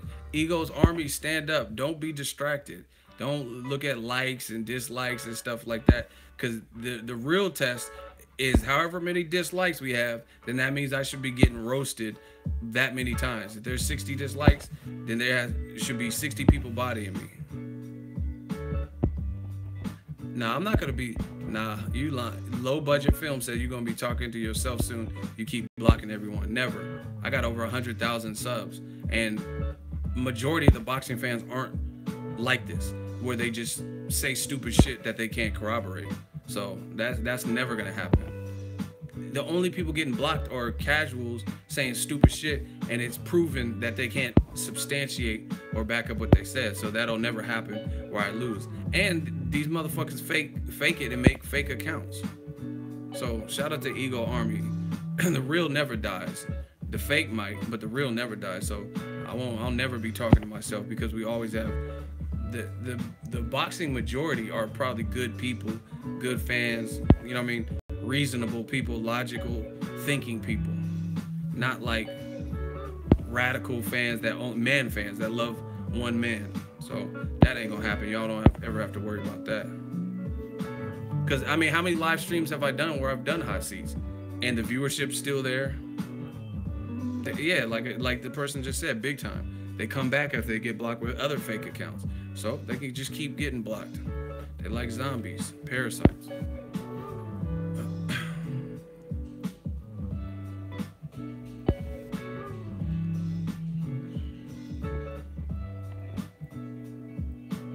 just the simple fact that Crawford was the only undisputed champ puts him at number one. See, that's that's a great point. Everyone keeps saying Crawford fought bums, but if if all you had to do is be in a bum ass division and get every belt, then why why has no one done it since Jermaine Taylor or Bernard Hopkins? If it's that easy, you know what I'm saying? Even legends like Pacquiao and Mayweather, they weren't they're not getting like undisputed in each division. I mean, clearly they're great and they they prove their worth in many other ways. But I mean, that's something that doesn't happen often. And and you have to look at it like people like Victor Postol, Julius Indongo. See, this is this is how you know it's the casual speaking, right? This is how you know it was the casual speaking because they consider because it's not a huge name that it's a bum. You know what I mean? Julius Indongo is not. He's a good fighter, but he's not a, a huge name. Like they would have preferred if it was like Brandon Rios when he was at 140 or Mike Alvarado, then they wouldn't have said that. You know what I mean? Be just because it's a bigger name. But that's not, you know what I mean? Julius Indongo might have beat Brandon Rios or Mike Alvarado at 140, to be honest. Actually, that's a good fight. When Julius Indongo, him him beating Ricky Burns and Troyanovsky, if he would have fought Brandon Rios when he was at 140, I don't know Brandon Rios would have beat him. I don't know Mike Alvarado would have beat him. But again, the casual fans, they just go off of the, the size of the person's name. Brandon Rios and Mike Alvarado had a good sized name at 140. Brandon Rios at 140 would have beat uh, Victor Postol to you guys. Honestly. Would Brandon Rios at 140 beat Victor Postol? So that I, I want to know your. I'm just thinking of fantasy fights. Would Victor Postol lose to Brandon Rios when he was at 140?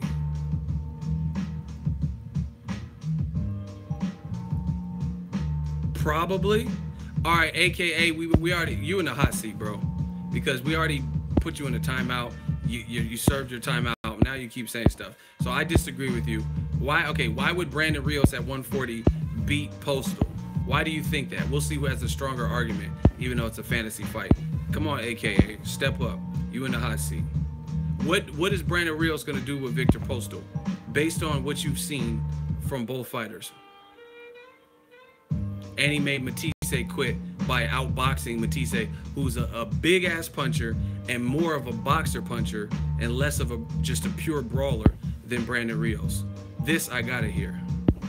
And I think Brandon Rios, if he if Crawford was dwarfed by Postol size, I'm pretty sure Brandon Rios, I've seen them on videos together, him and Crawford, and Crawford looked taller. So where's AKA? See, they just want to say stuff because uh, whatever they want to side with someone or they're the same race or whatever they oh do it for La Raza like okay so now explain why Brandon Rios would beat Victor Postol when they were both at 140 I, I gotta hear this where's AKA at AKA must stand for another killed assassination in this fucking hot seat because you taking forever and you're about to get bodied see they just say what feels good for them they don't think it through. They don't break it down. That's what I'm saying. They're not used. They're not used to um, having resistance. They're used to just saying some drive-by shit and that's it.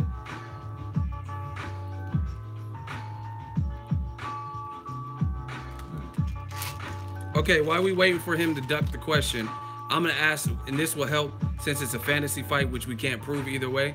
This will help it. I'm gonna ask you, the fans, the real boxing fans, do you think Brandon Rios at 140 would beat Victor Postol or would he lose to Victor Postol at 140 before Postol fought Crawford and before like uh, Rios lost to um, Pacquiao?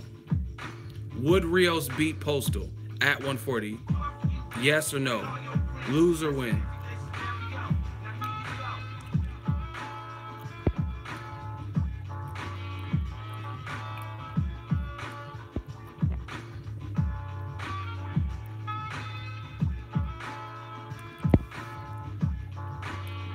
Okay. One of my moderators count to 10 and get AKA out of here. The fans the fans have all responded. Fans have all responded. Actually, it's been 10 seconds. Get AKA out of here. He stopped responding because he knew he couldn't.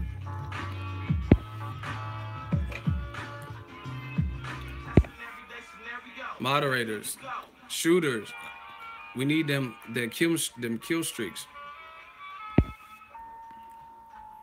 Get AKA out of the thank you, DJ Yo. Thank you. See how they just stopped responding? Listen, I'm gonna give my argument since he's no longer with us.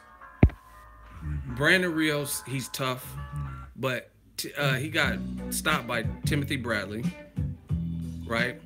Richard Abril at 135 outboxed him, and he should have lost that fight. Mike Alvarado in the second fight beat him. And he, to me, Mike Alvarado, all he did was box a little bit more than he did instead of just pure war. So how's he gonna beat Postol, who's even taller than all of them? You know, I mean, he was taller than Crawford. I just I have not seen anything in Brandon Rios. Brandon Rios is slow-footed and all this. And the other thing is, Lucas Matthysse, like it's like Lucas Matthysse versus Brandon Rios at 140, who would you really pick? Who would you pick? You know what I'm saying? Would you pick Brandon Rios to beat Matthysse at 140? Because I would have to favor Matthysse, me personally.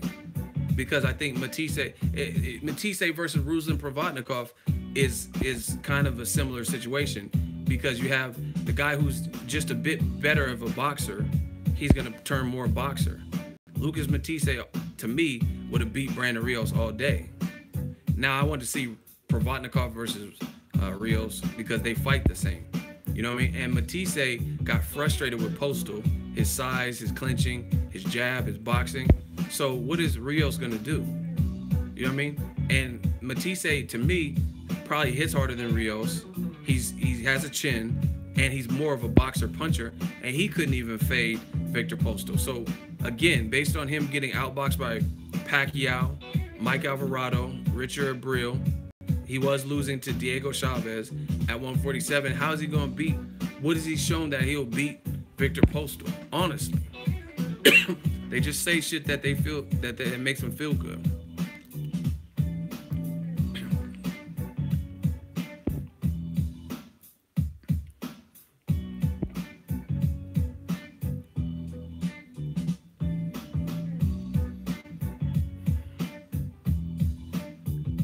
Ruslan didn't quit versus Molina. What are you talking about? Do you guys even watch boxing? He said Rios might make Ruslan quit like Molina, but the fight went the distance. How did he quit?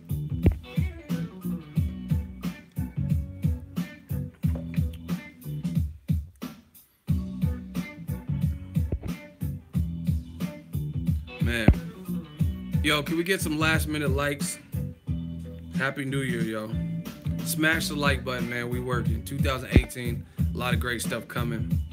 Hit the like button. I'm motivated for a good year. Ndongo Postol.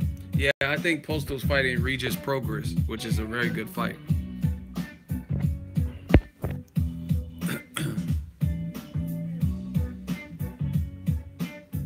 Provodnikov's got out a man style chin for sure. Big respect to Ego. Happy New Year. I like Billy Joe Saunders. Um, I don't like how he's trying to play Danny Jacobs, but he looked good versus David Lemieux.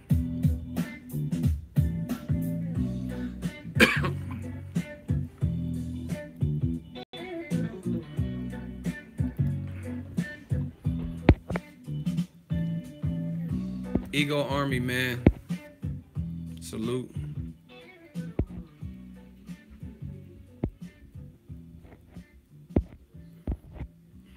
Joshua needs to fight Fury. Nothing else interesting. I disagree.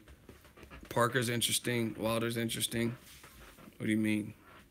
Shit, even Povetkin is somewhat interesting.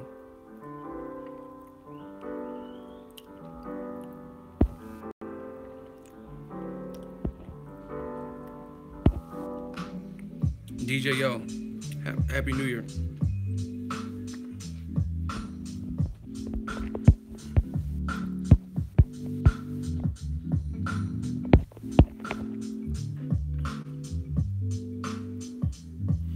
Ego, do you think we'll see Garcia Spence in 2018?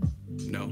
I think Shawn Porter would get a shot before Spence or Amir Khan rematch. I don't know. I don't know. I never really hear Danny Garcia mention Errol Spence, to be honest. So, I mean, I wouldn't put. I I would say him fighting Amir Khan in a rematch, Keith Thurman in a rematch, or Porter would all be more likely. What do y'all think of Mikey Garcia? And he, he admitted that he turned down the Robert Robert Easter Jr. fight because the money wasn't right. What do y'all think of that?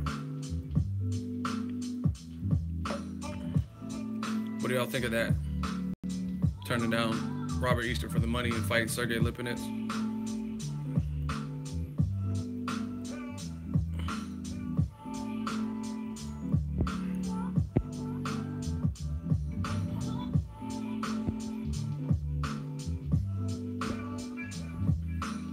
Man, listen.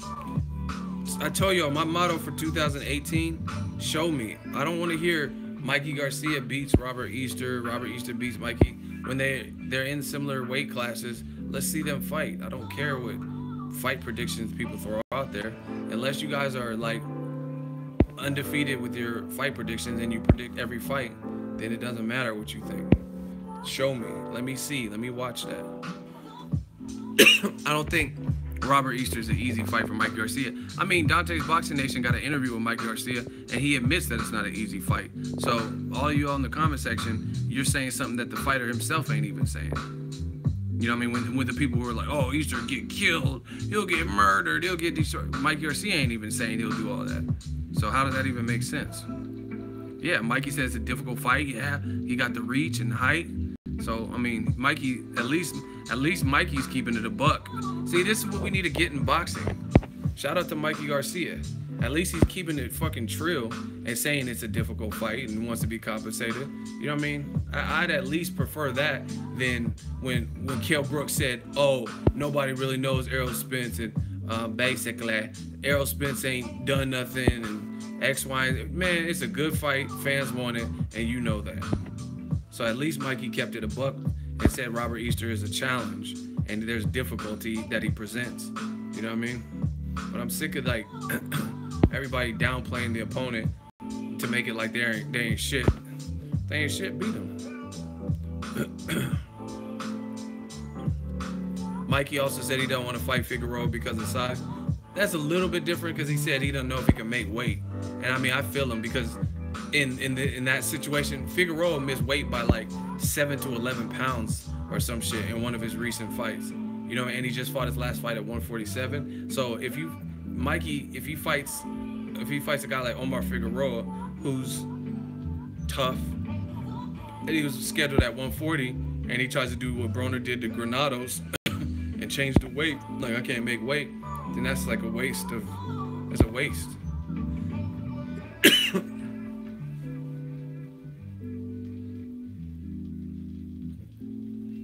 Robert Easter doesn't really use his height and reach. He doesn't. He fights on the inside. That's that's where he like. But it's still a good fight, despite what anybody says. That's a good fight because even though he doesn't use it, he's still undefeated. Mikey's undefeated. So what? I mean, what is the question? I mean, realistically.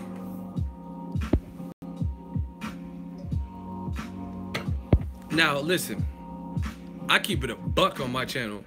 I keep it a buck. I would prefer if if I had the choice, I would watch Mikey Garcia over Robert Easter Jr. I'm not knocking that man Mikey for fighting Sergey Lipinets, but if we're being honest, like I might even go to that fight. So you know what I mean? He has a chance to. First of all, I respect Mikey. Second of all, I respect him for how he moves. Ever since he had the top rank, um, contractual whatever bullshit where he wasn't fighting, he came out to fight. He can't, you know what I'm saying? He came out fighting the people like good name. Dejan Zlaticanin was a knockout guy. He fought Elio Rojas as a tune-up, fought Broner. So I'm not mad at him because he's at least taking challenges. Lomachenko's not taking these challenges.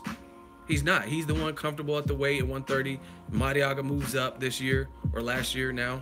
Uh, Rigondeaux moved up two weight classes. Mikey's at least being flexible. He's being flexible with his weight.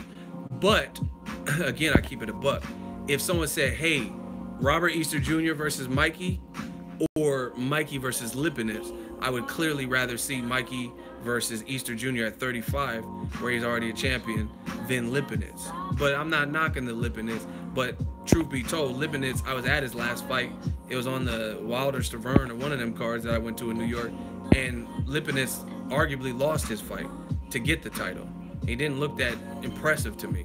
And I remember thinking, I remember saying to somebody, this is the dude that was kind of talking shit to Terrence Crawford. He, Crawford would have beat him, beat him down, down. Listen, Lipinets is still champion, so I'm okay with the fight. He is, but everyone's saying Robert Easter gets destroyed. You you would really rather see Lipinets over Robert Easter Jr. You know what I'm saying? Robert Easter Jr. he won his belt through a vacancy, just like Lipinets, but it was in it was a better fashion. His fight with Richard Commey was was way way more entertaining and all that. So again, I'm not hating on Mikey for fighting Lipinets because at least he's taking risks that Lomachenko's not by moving and flexing his weight, getting where you fit in. But if I had the choice, I would say Easter has a better resume than Lipinets, and he's impressed me more and I think it'll be a better fight.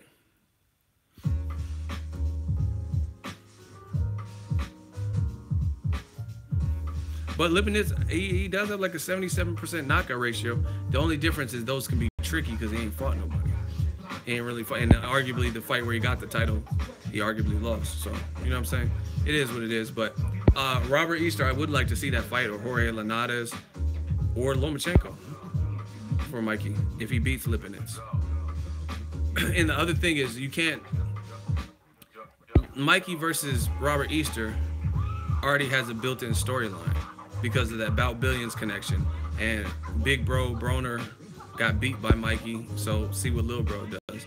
Kind of like when Broner lost to Maidana, and they said, "Oh, Big Bro Floyd is gonna have to take care of Maidana for Broner." Similar situation.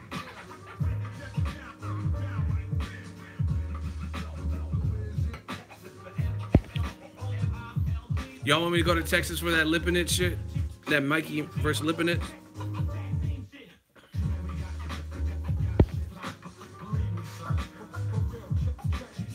Yo, let's see if we can get to 200, 200 likes, man. I'm about to head out of here.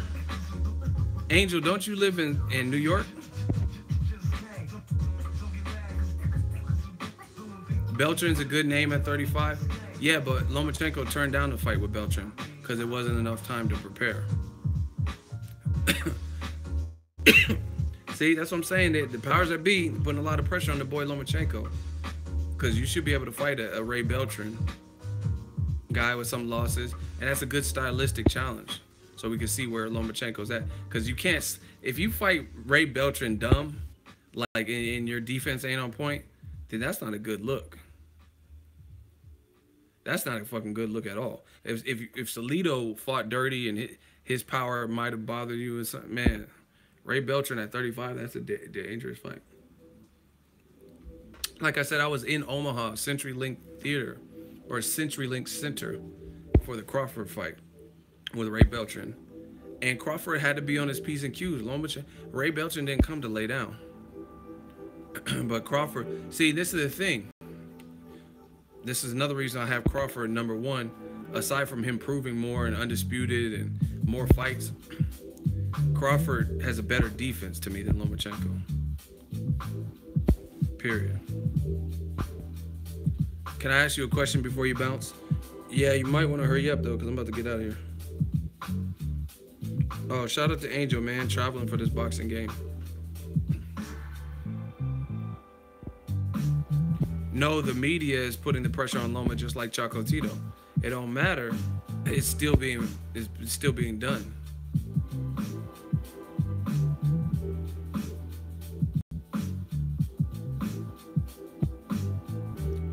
Beltran beat a Peruvian cab driver last fight. See, joystick, you sound stupid as fuck because he beat a uh, Peruvian cab driver. Then why did Lomachenko say I need a full camp to prepare for him? If Beltran's beating Peruvian cab drivers, Lyft drivers, and Uber drivers, and all that dumb shit y'all be saying. Like, see, this is this is where y'all boys get fucked up, cause you, you you can't shut up, and you gotta let your emotions take over, and your emotions put you in a bad place. Let me put this boy in a hot seat, and my question is very simple. Go to Fight Hub. Bob Arum, I think Lomachenko is feeling his way up. You have to understand what a great professional he is.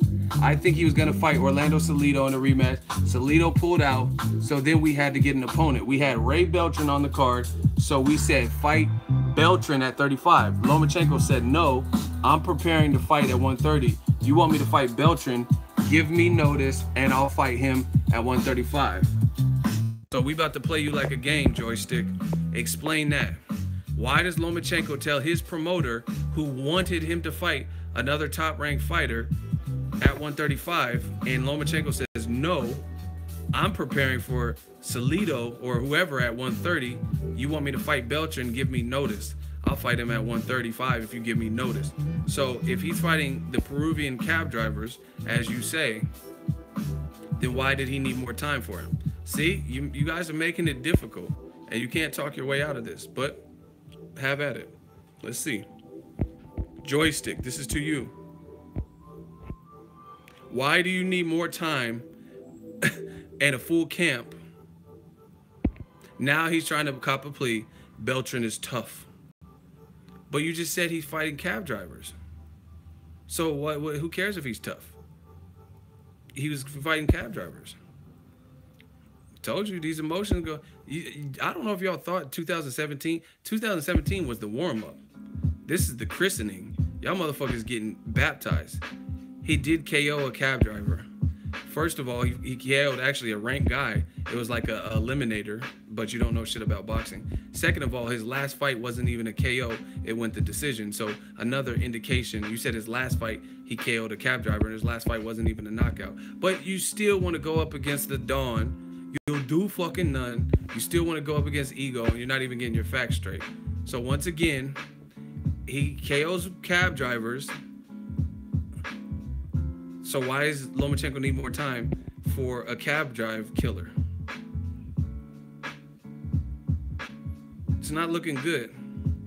You better use that joystick, try to find some kind of cheat code, because you're getting bodied.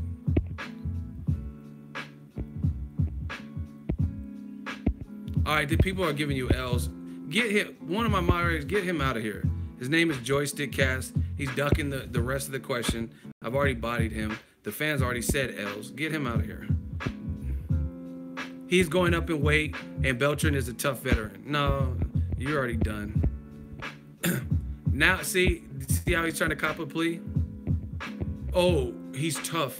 He's going up in weight, and he's a tough veteran. But you just roast. You tried to roast Beltran for knocking out cab drivers, but then you have no reason to. You can't describe or explain why Lomachenko needs more time to beat a guy who fights cab drivers.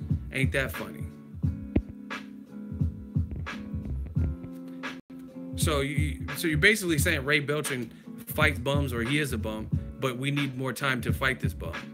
We we can't take this on. And the short notice, just so you know, was at least a month and a half because I just showed you the article and the announcement after Salido, it was done in June and the fight wasn't until August.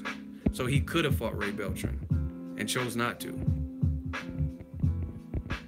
Shout out to L Dog from New Zealand, $5 money gang. Loma got beaten by a cab driver Uber. LOL. See, that's a good point. and I said it before. You guys, oh, you're hating on Loma. I don't care about all that bullshit. Because if I'm hate, listen, if I'm a hater, it should be easy to answer these fucking questions that I'm asking you. Who has Lomachenko beaten that fights like Salido since he lost to Salido? Once again, top ranked matchmaking. Who has Lomachenko? I'll say it again. Who has Lomachenko beaten that you would say has a style that's eerily similar to Salido since Salido? Right? No one, no one, exactly. He hasn't fought anyone like Salido since Salido. And oh, Salido pulled out. But what about the other times you were negotiating and you didn't want to pay the man? So Floyd Mayweather did this interview with Fight Hub, Fight Hype, excuse me, Fight Hype. and he said Lomachenko getting underpaid and all this stuff. He's right. He's right. If Lomachenko is better than Ali, better than Floyd, and what they say, then why isn't he getting more money? Well, how come Danny Garcia got more money in his fight with uh, Keith Thurman last year than Lomachenko got to fight a two-time Olympic gold medalist, which was supposed to be the the best of the amateurs and all this shit.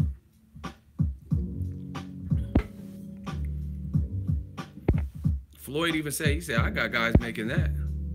I bet you Badou Jack probably got that for James DeGale. To be honest, Tank's getting like one point something mil probably. You know what I'm saying? Lomachenko is one of the biggest stars over there. and in 11 fights, he's fought some solid names. And he's made, barely making over a million. Triple G got five million to fight Kell Brook. Get these boys out of here, man. I'm out of here. Stay tuned to the channel body counts will rise. Let's get some last minute likes. If you like these live streams, this is the only way I can do them is if you guys help me on the engagement side. Because you know the haters are going to try to do drive-bys and hit dislikes without proving themselves because they don't want to step up for the hot seat because it has such a vicious reputation for getting people out of there. So make sure you guys, when you come in, smash the like button. Should be a customary thing. It's not much to ask. we talk about various things. Yeah, man. And see, this is the other thing that Top Rank does a lot to me. They have a prime fighter, Pacquiao, Lomachenko, whoever, especially if they're not black. And what they do is they sell them, tell you how great they are, blah, blah, blah. Cool, that's your fighter, and blah, blah, blah. but then they'll make all these sly, snoot comments about other people oh yeah, yeah, da da da da. Pacquiao might fight Matthysse. He might fight Broner. He might fight Mikey Garcia. He might fight Danny Garcia. He might fight Amir Khan. All these great fights. All of these great fights. And the fight we want least, that's the fight that they land on. Oh, even though we said Matthysse, Broner, Mikey Garcia, Danny Garcia, Amir Khan, um, Errol Spence, Keith Thurman. We mentioned all these fucking names. That's seven great fights. Big names. And then you decide to have Tim Bradley three. What? And they do that often. And that's to me, that's the that's the old promoter shit. It's the old way of promoting to to the point where you like uh, kind of oversell. You talk a big game about fights you know you're not gonna make.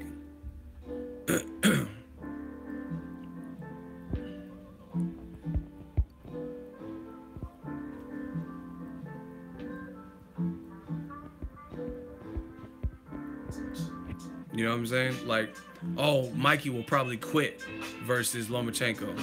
But I guarantee you, even after he fights Lipinets, if he beats him, I don't think Lomachenko's next fight will be Mikey Garcia. So it's like, what's the point to even say that? You know what I'm saying? What's the point of even saying that when you have no intentions of making that fight?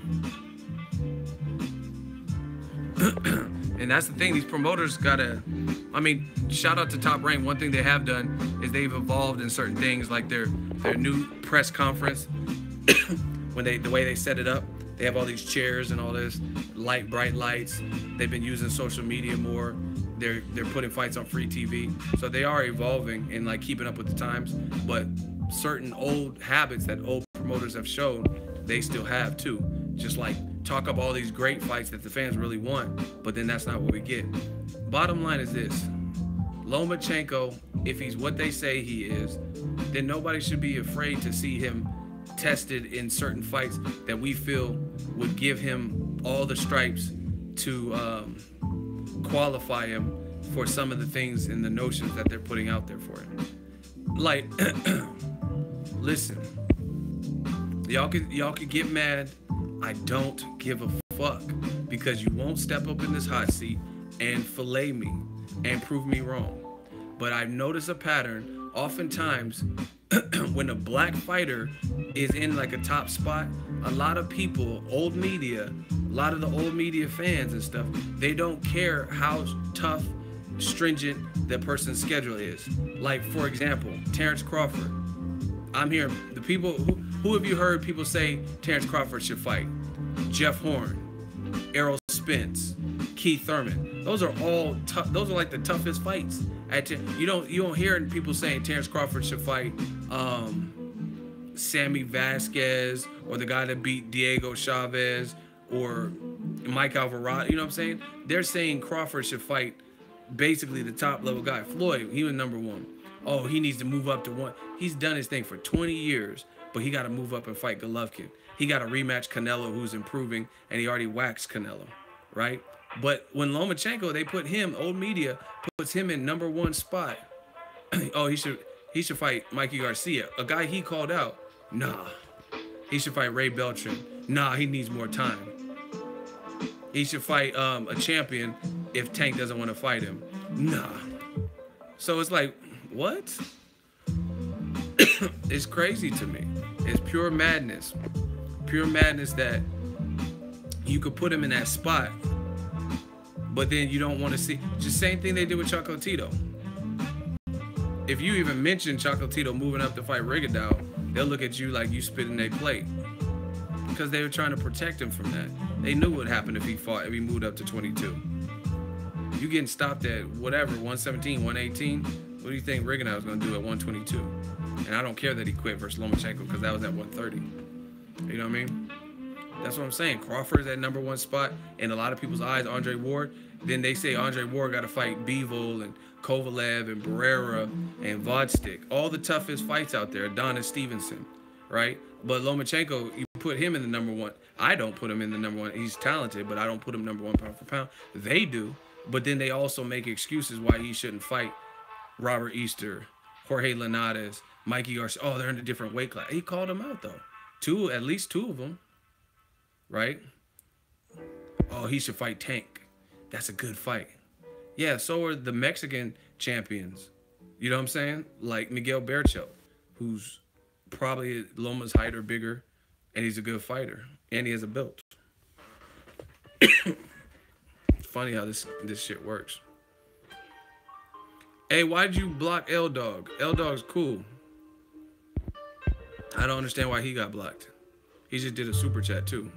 So DJ Yo too. I don't know why you what what he did, why you blocked him.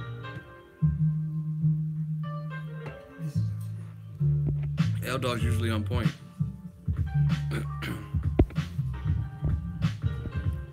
DJ Yo too. Why'd you block L Dog?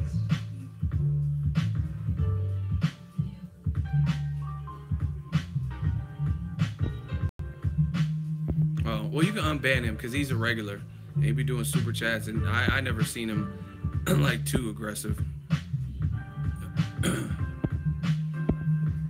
um, L Dog, yeah, he's from New Zealand. He's he be leaving super chats, and I never seen him uh, dis disrupt the whole streams and all that stuff. But anyway, that, that's my two cents on the thing. Um, Joshua versus Parker, that's a solid fight. I'm good with that. um, Wilder versus Ortiz, dangerous fight. I'm good with that. And the winners face each other. That's how it should be. But I'm telling you, the me old media, I'm very curious to see who Lomachenko fights next. Because it has to be some. And see, the reason why the pressure is on Lomachenko more so than Tank Davis or somebody is because Tank is still 22, 23. Lomachenko's 29, two Olympic gold medals, and he's being praised to a to a level that people want to see him prove it now. They want to see how good he is. They're like, okay, you, you fought Nicholas Walters, good name, coming off a draw, long layoff game. You know what I'm saying? So people want to see some. Like, this is my honest opinion, people. Floyd, Floyd and Roy Jones, they beat top class names, and it was because they were so skilled that they beat that person and made it look like it was nothing. Floyd beat Canelo. Not that Canelo has ever been a bad fighter because he beat Austin Trout. He was just coming off of that victory. You know what I mean? It's just the fact that Floyd's Floyd. You know what I mean? So his skill made it look like it wasn't shit. But if Angulo, James Kirkland, um, whoever else would have fought Jarrett Swift Hurd or something, would have fought Canelo immediately after Canelo fought Austin Trout, then I don't think they would have beat him like Floyd. You know what I mean? Even if they did beat him, it wouldn't be one-sided like the Floyd fight. Floyd, I'm telling you, he beat guys like that, like the Diego Corrales, not because Corrales was weak, rest in peace to Chico, it's because of how good Floyd was. Same thing with Roy Jones Jr. It's not that James Toney was weak back then or, or Bernard Hopkins was weak and all these other dudes. Stop Virgil Hill with a body shot. It's not that these guys were weak. They were ranked guys. David Telesco and all this um, that dude with the little mini dreads. These guys were all ranked. It's just Roy was Roy, and he made him he made him look like that. But with Lomachenko, I really feel that he's beating solid names, but the advantages are heavily in his favor. You know what I'm saying? The advantages are like matchmaking, like timing and stuff like that. Like you got Gary Russell when he was 24 and 0, had zero. Listen, we'll do a hot seat right now Listen to me. Look at me in my eyes. We'll do a hot seat right now before I get off of here. Who named two people that Gary Russell beat before he fought Lomachenko? Two people that you feel were very good, solid quality wins. Two people. Because everyone gives Lomachenko a ton of credit for that win, but most of what Gary Russell has done in this sport has been after that loss, not before.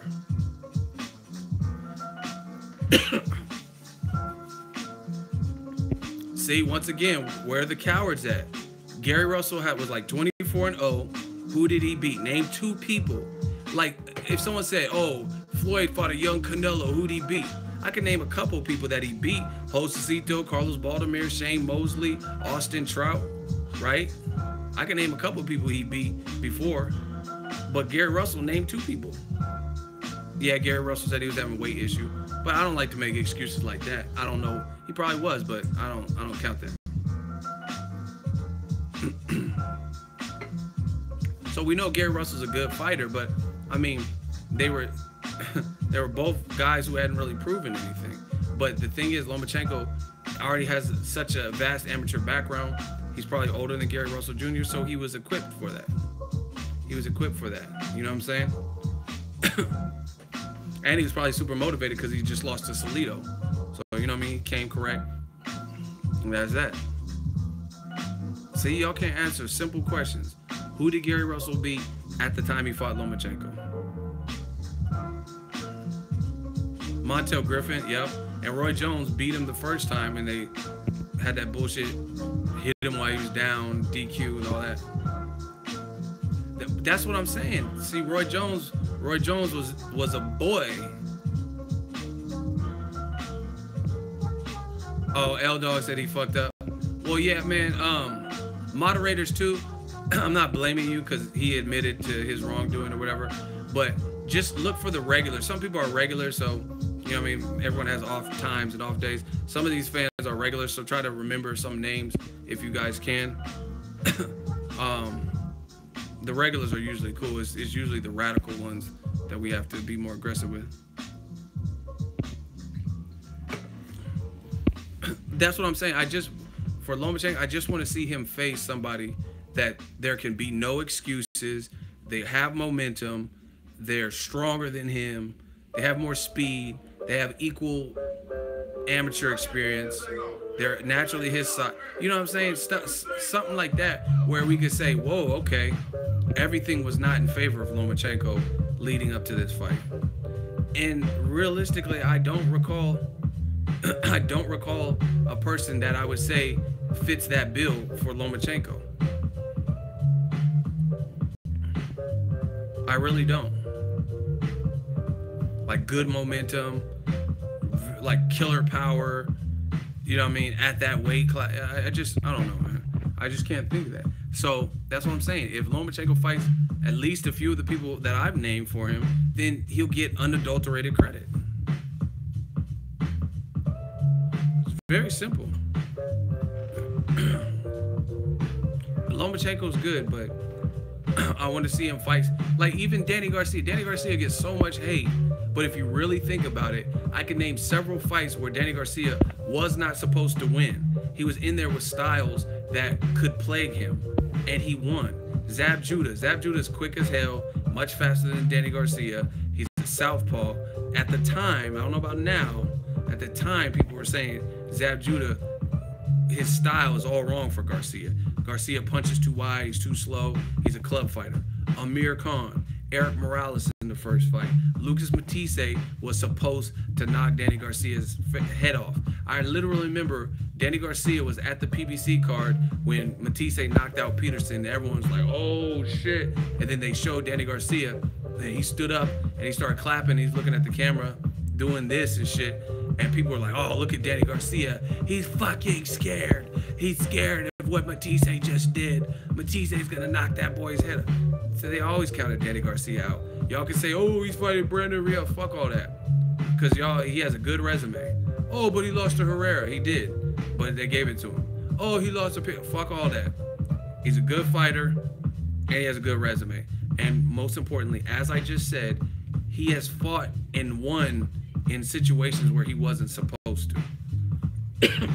Lomachenko, I literally cannot think of a fight where even the Gary Russell fight, where he was like this massive underdog and he had everything stacked against him and he pulled it together and showed. Like Ward was supposed to, he's Ward, he's pillow fisted. He had been more inactive than Kovalev. This was Kovalev's light heavyweight division and Kovalev loses to Ward twice. Kovalev's considered the puncher. So who has Lomachenko fought like that? Where he had to move up and face a, lot like a, a guy with all the belts except for one that was a huge puncher, and not a David Lemieux one-dimensional puncher, but a good-ass boxer. You know what I'm saying? A good boxer puncher. I, I just really can't think of it. I mean, you could say Rigondeaux, but once again, a guy two two weight classes below him that couldn't deliver. So, if you fight Mikey Garcia, people like that, then it's not. No one can say nothing about that. That's what I'm saying. Look at Big George. Shout out to you. He says Loma's chin been tested. I mean, you tell me, people. A lot of people don't have the experience or the style to hit him or they whatever happens when they fight him. But has his chin been chest, tested? Exactly. See, and listen, yo, we're almost at 200. Walters barely even threw any punches. What are you talking about? Walters looked like he didn't want to be there. Let's get to 200 likes. Hit the like button. So, I mean, Walters is a big puncher, but what punches was he landing? He didn't do anything the whole fight. Listen, this is to Jaden. He said, Ego, what's up with this dude trying to expose you on YouTube? Listen, don't come to my channel. I told everybody. No, I don't care. If there's someone on YouTube, let them do their thing. God bless. Have a great 2018. Don't tell me about anybody unless they're doing better than me. If they have a verified channel with 100K or better, they have more numbers than me, then don't tell me about them. Don't. That's like because now it, feels like you you a spy for them or something, trying to create an issue and solicit that. We don't do that. We don't do free promotion because when I came into the game, I never diss anybody. I didn't say anything about Ellie. I wasn't leaving crazy comments on this video, fight hype, none of them. So don't come to me with that chicken shit. Again, I'm gonna say it one more time, and you will be blocked if you keep trying to create and stir up issues. I do not give a fuck about any other channel but mine and what I'm working on. And if they're not doing better than me, then don't mention them to me. They got 200,000, 150,000 subs, they're verified, then that's something different. Holler at me. Let me know what's being said. Because most motherfuckers like that, they're actually at the fights when I go. So if there's an issue, then, you know I mean, it could be addressed there. But if it, you know what I'm saying, someone 400 subs, I don't give a fuck. anyway, um, whoever just said whoever just said that Lomachenko chin has he been tested, that's the good point. Like, has his chin been tested?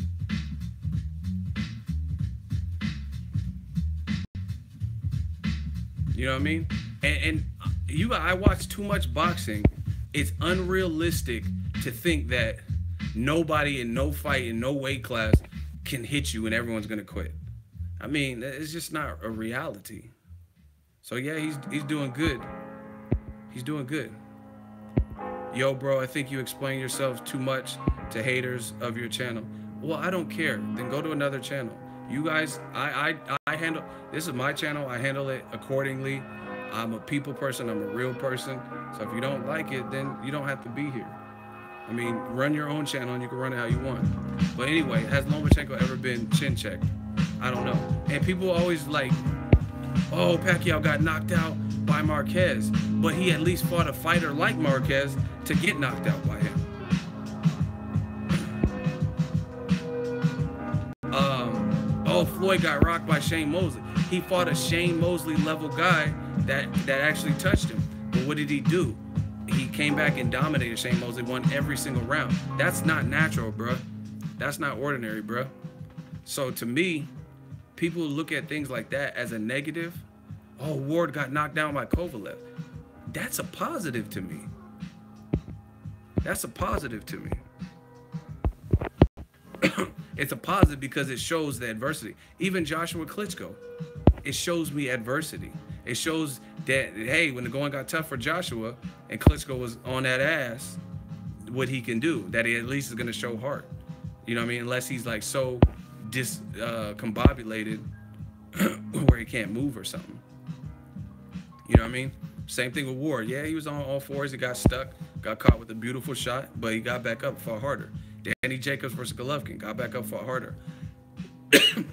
People are anointing Lomachenko with 11 fights. He hasn't been in those predicaments. And I highly doubt, listen, if you let me be his matchmaker, let me be his matchmaker, I promise you we could see some challenges. Because we've seen in his second pro fight. We've seen challenges, but it has to be the right style, the right attributes. You know what I'm saying? It has to be the right attributes. If you keep matching them with certain people with uh, inactivity, coming off a loss, moving up in weight, um, don't have amateur pedigree, then yeah, all these fights are gonna look like. But I'm not. Eh, look at Golovkin. He's a hell of a fighter. He's a silver medalist, right? silver medalist. When he stepped, he no matter who he, he had like 30 something fights He was knocking all them dudes out. No one had been 12 rounds with him. The first time he fights a guy that I consider had a lot of momentum, had a good amateur background, has power, uh, an inch or so taller than him, and had some signature wins. Sergio Mora, Peter Quillin, Caleb Truax, who's now a champion, beat the shit out of James DeGale. Now all of a sudden, we don't see Golovkin get the knockout. Hmm. Hmm. 23 motherfuckers all got knocked out. Nobody had been 12 rounds, but now a guy who's been knocked out, all of a sudden he goes the difference or the distance with him. Then you fight Canelo, who really don't have much experience at 160. He has the size, but he hasn't acclimated at all to the weight. you know what I'm saying? And then he don't get knocked down or knocked out. And y'all motherfuckers was saying he was gonna get knocked out. What does that show you, people? Like honestly, if you in your heart of all hearts, fuck all the old Canelo's a pussy and Triple G, that like in your heart of all hearts, what does that show you? That shows you that when the competition gets real, the fights get harder. You know what I mean? Even levels. Shout out to E1 or Element. That's exactly what it is, level. Because even like Chino Maidana, one of my favorite performances of his was Broner. But even in that fight, if you go back and watch the fight, not no casual shit. Oh, because see, the casuals say stupid shit. Like I was talking to someone on on the Broner Maidana fight, and they're like, Broner needs to shut the fuck up. That's why Broner got knocked out by Maidana. Do you guys know the difference between a knockdown or knockdowns and a knockout? He literally said he'd been knocked out by Maidana, which didn't happen. But anyway, the real boxing fans know if you really watch that fight, Chino did his thug thizzle. He did his thing. But in them late rounds, Broner was actually giving Chino some work, and he actually hurt Maidana. If you really watch that fight, but for the for majority of the rounds, it was the the Maidana show. But Maidana's to me again that had to show this is what I'm talking about when I'm talking about adversity. Even though a fight he was dominated, Broner, Broner showed heart, wasn't there to be stopped, and he gave uh, Chino some tough last round. Amir Khan blasted the fuck out of Maidana in the first round. He got back up and had to fight through it. Lomachenko, we're not really seeing him. Last time we've seen him in major adversity was based on a certain style, which he's never fought since then. So I, I like the adversity. I mean, Canelo losing to Mayweather, he looks like a better fighter. He looks like a literally a better fighter.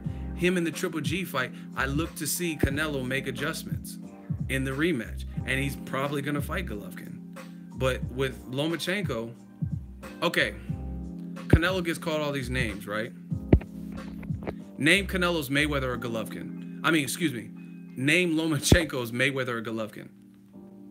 So the threat level that Mayweather presented to Canelo at the time, and the threat level that Triple G presented to Canelo at the time. Name someone who who you think presented those same adversities for Lomachenko that Loma fought. I'll wait. So okay, low budget films, we gonna get your low budget ass out of here in a hot seat. You just said Rigondeaux. So who are you comparing Rigondeaux to? Floyd versus Canelo or Triple G? Let's first get that out of uh, like you said. I'm gonna make like I said. I'm gonna challenge you guys to think about what you said. You about to get that work. I said name someone who presents the same level threat. So Rigondeaux presented the same level of threat to that Triple G did to Canelo or Floyd did to Canelo. Let's be clear so I know which one you're arguing for. Because you just blurted out Rigondeaux real quick. Come on, low budget films. No, no, no, no. Stop that. Two time gold medalist Rigo can't be compared by either. Answer the question. I said name somebody, name the challenge that Canelo faced in Golovkin where Golovkin was at his career, where Canelo was at his career, where Mayweather was, where Canelo. Name somebody that presented that level of, of challenge to Lomachenko, and you said Rigondeaux. So I want to know who you comparing it to, Mayweather versus Canelo or Triple G. That's all I want to know. We can start from there. Shout out to Christian. Be on deck with the headshot, red shot, the red dot headshot. Cause I know I'm about to fry this boy. Cause I seen he was putting stupid shit. Now we're gonna turn this low budget B movie and show them you if you a B movie, you can't fuck with a blockbuster. You know what I'm saying? It's like the Transformers, Fast Fast and Furious 7. We high budget, not no low budget bullshit, weak ass acting and weak ass points. no, listen. I made a, a comparison. You're ducking the question. Rigo presented a threat to Loma. He's a two-time gold medalist. You're ducking the question. The question is very simple. I said, comparatively speaking, Canelo stepped up to fight Floyd Mayweather. Fact. Came up short, but he stepped up for that. And we know what Floyd does well. We know what Canelo does well and what he's lacking. So that fight, and same thing with Golovkin versus Canelo. Who has Lomachenko fought that presented those types of threats? Canelo having slow feet, being in there with a masterclass boxer like Floyd Mayweather, right? And arguably TBE. Golovkin being two inches taller, a crazy jab, undefeated, and he has knockout power. And Canelo didn't really acclimate to the division. You say Rigondeaux because he's a two-time gold medalist, but you don't say that he was two divisions. Since we're, we're on the number two, let's talk about how Rigondeaux was two divisions under him. So how is that comparable? Golovkin's not two divisions under Canelo. If it, in actuality, Canelo came up to Golovkin's division. So that's a horrible comparison. Even Floyd, it was at a catch weight, but Floyd was 13 years older and he's arguably TBE. And Floyd had fights at 54 before. He had fought Cotto and De La Hoya. So your comparison is not looking good. Looking shaky, baby. so I don't consider the Rigondeaux having the the same advantages that Floyd had over Canelo, that Triple G had over Canelo. They want you to have that L so bad.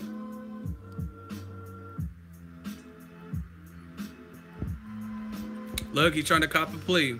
I'm not comparing Rigondeaux to any of them. I'm just saying he has a two-time gold medal and it's very hard challenge for Lomachenko. These young boys can't beat me. But you have to, okay, if we're going to talk about facts, he does have two gold medals, but so does Lomachenko. So that kind of, doesn't that, you know what I mean? Like, doesn't that, if you have a positive two and a negative two, isn't that a zero? So it doesn't it kind of neutralize out? And then you have to look at some of the other dynamics of like size and, and different things like that. You know what I'm saying? So at the end of the day, they both had that. It's not like Lomachenko had 10 amateur fights and, and Rigondeaux had all this pro level experience. You know what I'm saying? So that's the difference. And now you're copying the police saying I'm not comparing. The whole question was name someone that Lomachenko fought with the same level of adversity. And then you said Rigondeaux. But now you're saying you're not comparing. Let's vote. If that man low budget film proves he ain't a blockbuster film, put your L's up.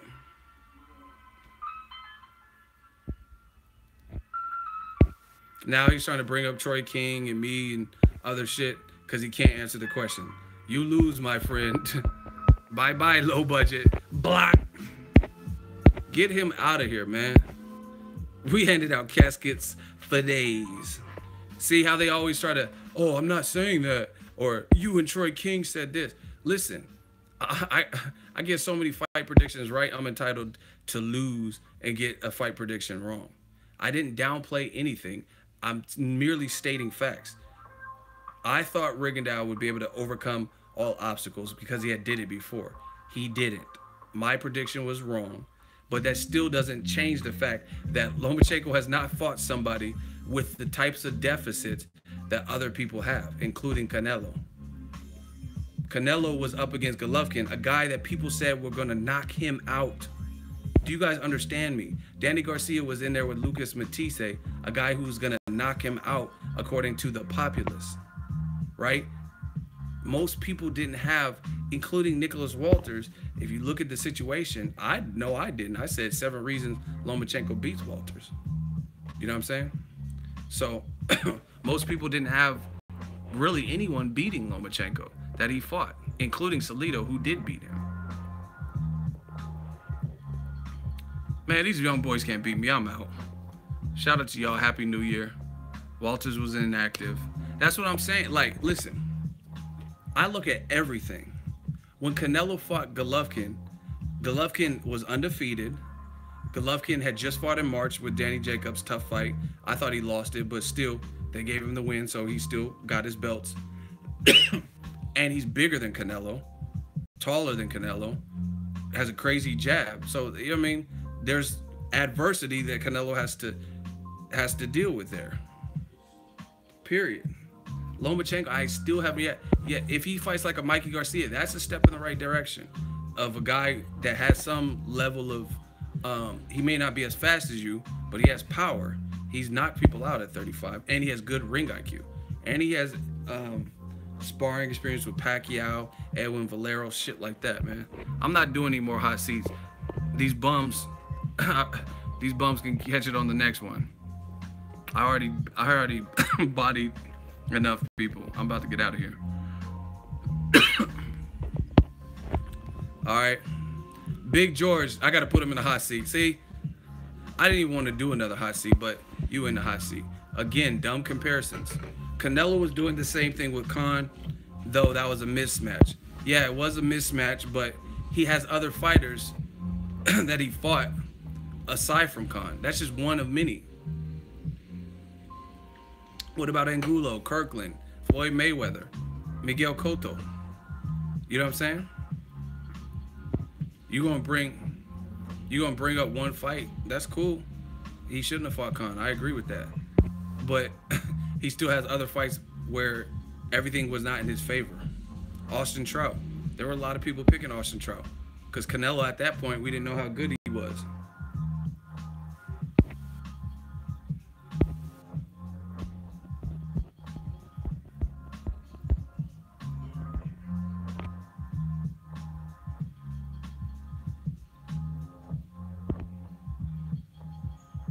He says he agrees now, so I guess we have a false alarm on the hot seat, man. Shang Tsung, that's that's what y'all calling me now with the hot seat. Man, the bottom line is people in 2018 especially, you gotta just rep you gotta just claim some real shit in boxing. And like for me, like I said, Bob Arum on Lomachenko versus Garcia. Mikey Garcia will probably quit. If Mikey will quit, let me see it. Because I don't believe that. I've been wrong before, but it's a good fight. It'll make money. I want to see Mikey Garcia quit. That sounds entertaining to me. Because he's not talking like he'll quit. And then again, unlike Rigondeaux, Rigondeaux wasn't talking like he would quit either, but he's two divisions under. Mikey ain't two divisions under. right? And see, this is what I'm talking about. Mikey, if he fought Lomachenko, there's clear-cut advantages for Lomachenko. Lomachenko's foot speed, probably his angles, his just overall speed. He has two-time gold medals that Mikey doesn't have. But then there's also clear-cut advantage. Mikey clearly clearly has the the power advantage to me. You know what I mean? Good resume, spar with great people, good trainer. You know what I'm saying? So it's a fun fight. Bigger.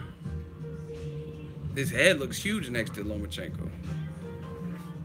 That's all I'm saying, man. If Lomachenko keeps getting, if they keep saying he's number one, then show me some behavior of a number one pound for pound. Y'all want Crawford to fight Errol Spence? That's cool. I'm down. I'm, I'm down with it, and it sounds like both of them are down with it when it happens. but like, it's just man, black fighters have to do so much more. I don't give a fuck what none of y'all talking about. They literally do. Crawford, he called out Keith Thurman before he even got to welterweight. Even though he's not gonna fight Keith Thurman most likely next, that probably has more to do with Keith Thurman because he's injured than anything. You know what I mean? I think Crawford really would fight Thurman in his first fight. He called him out. But even still, his first fight, seven pounds higher, he's gonna try to fight a champion in Jeff Horn. And Jeff Horn is the one that, if anybody, seems like they're making excuses to not fight Crawford, right? So Lomachenko, okay, let's say he's the best at 130. Okay, you you move up five pounds and fight a champion in your first fight. Crawford's trying to do it, and they're saying you're better than Crawford. you're ranked higher. Golovkin's number two. ESPN says Loma's number one and Crawford's number three. So how is it Crawford can move up seven pounds and immediately fight a champion? But you need more time for Ray Beltran. You know what I'm saying? It's crazy. It's crazy the standards, the double standards. Fight Robert Easter your first fight. Mikey Garcia, Jorge Linares. even even like let's say Ward moving up fighting Sullivan Barrera. It's an undefeated puncher that's bigger than him at light heavyweight. So fight Ray Belcher in your first fight. A guy like that. Fight Jose Ramirez if he gets past Amir Imam. He called you out.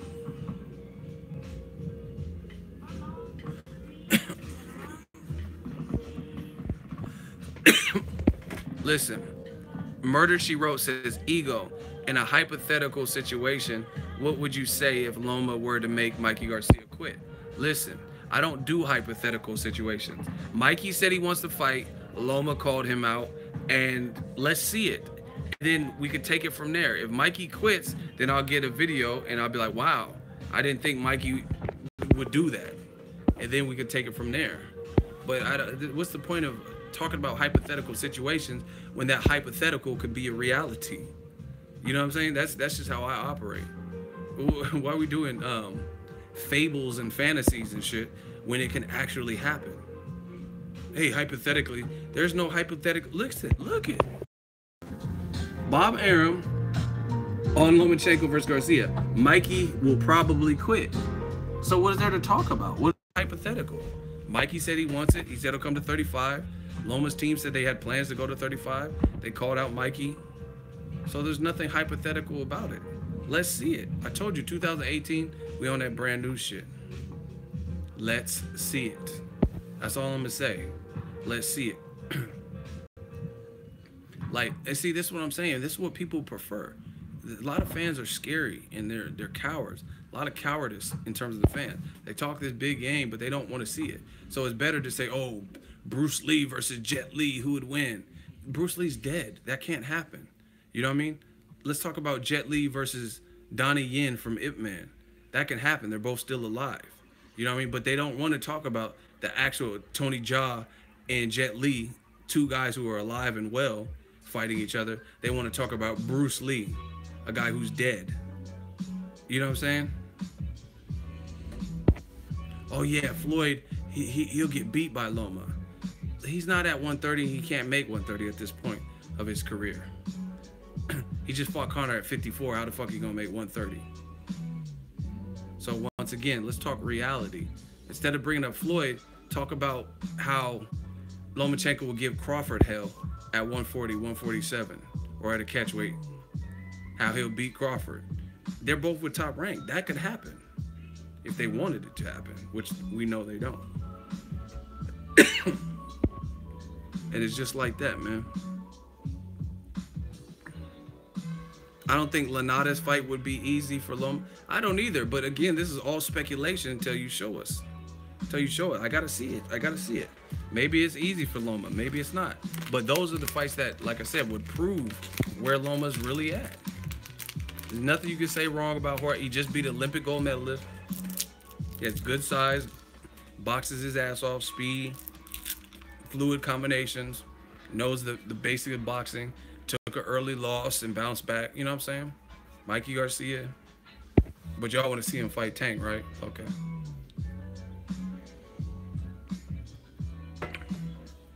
Crazy. And I'm out.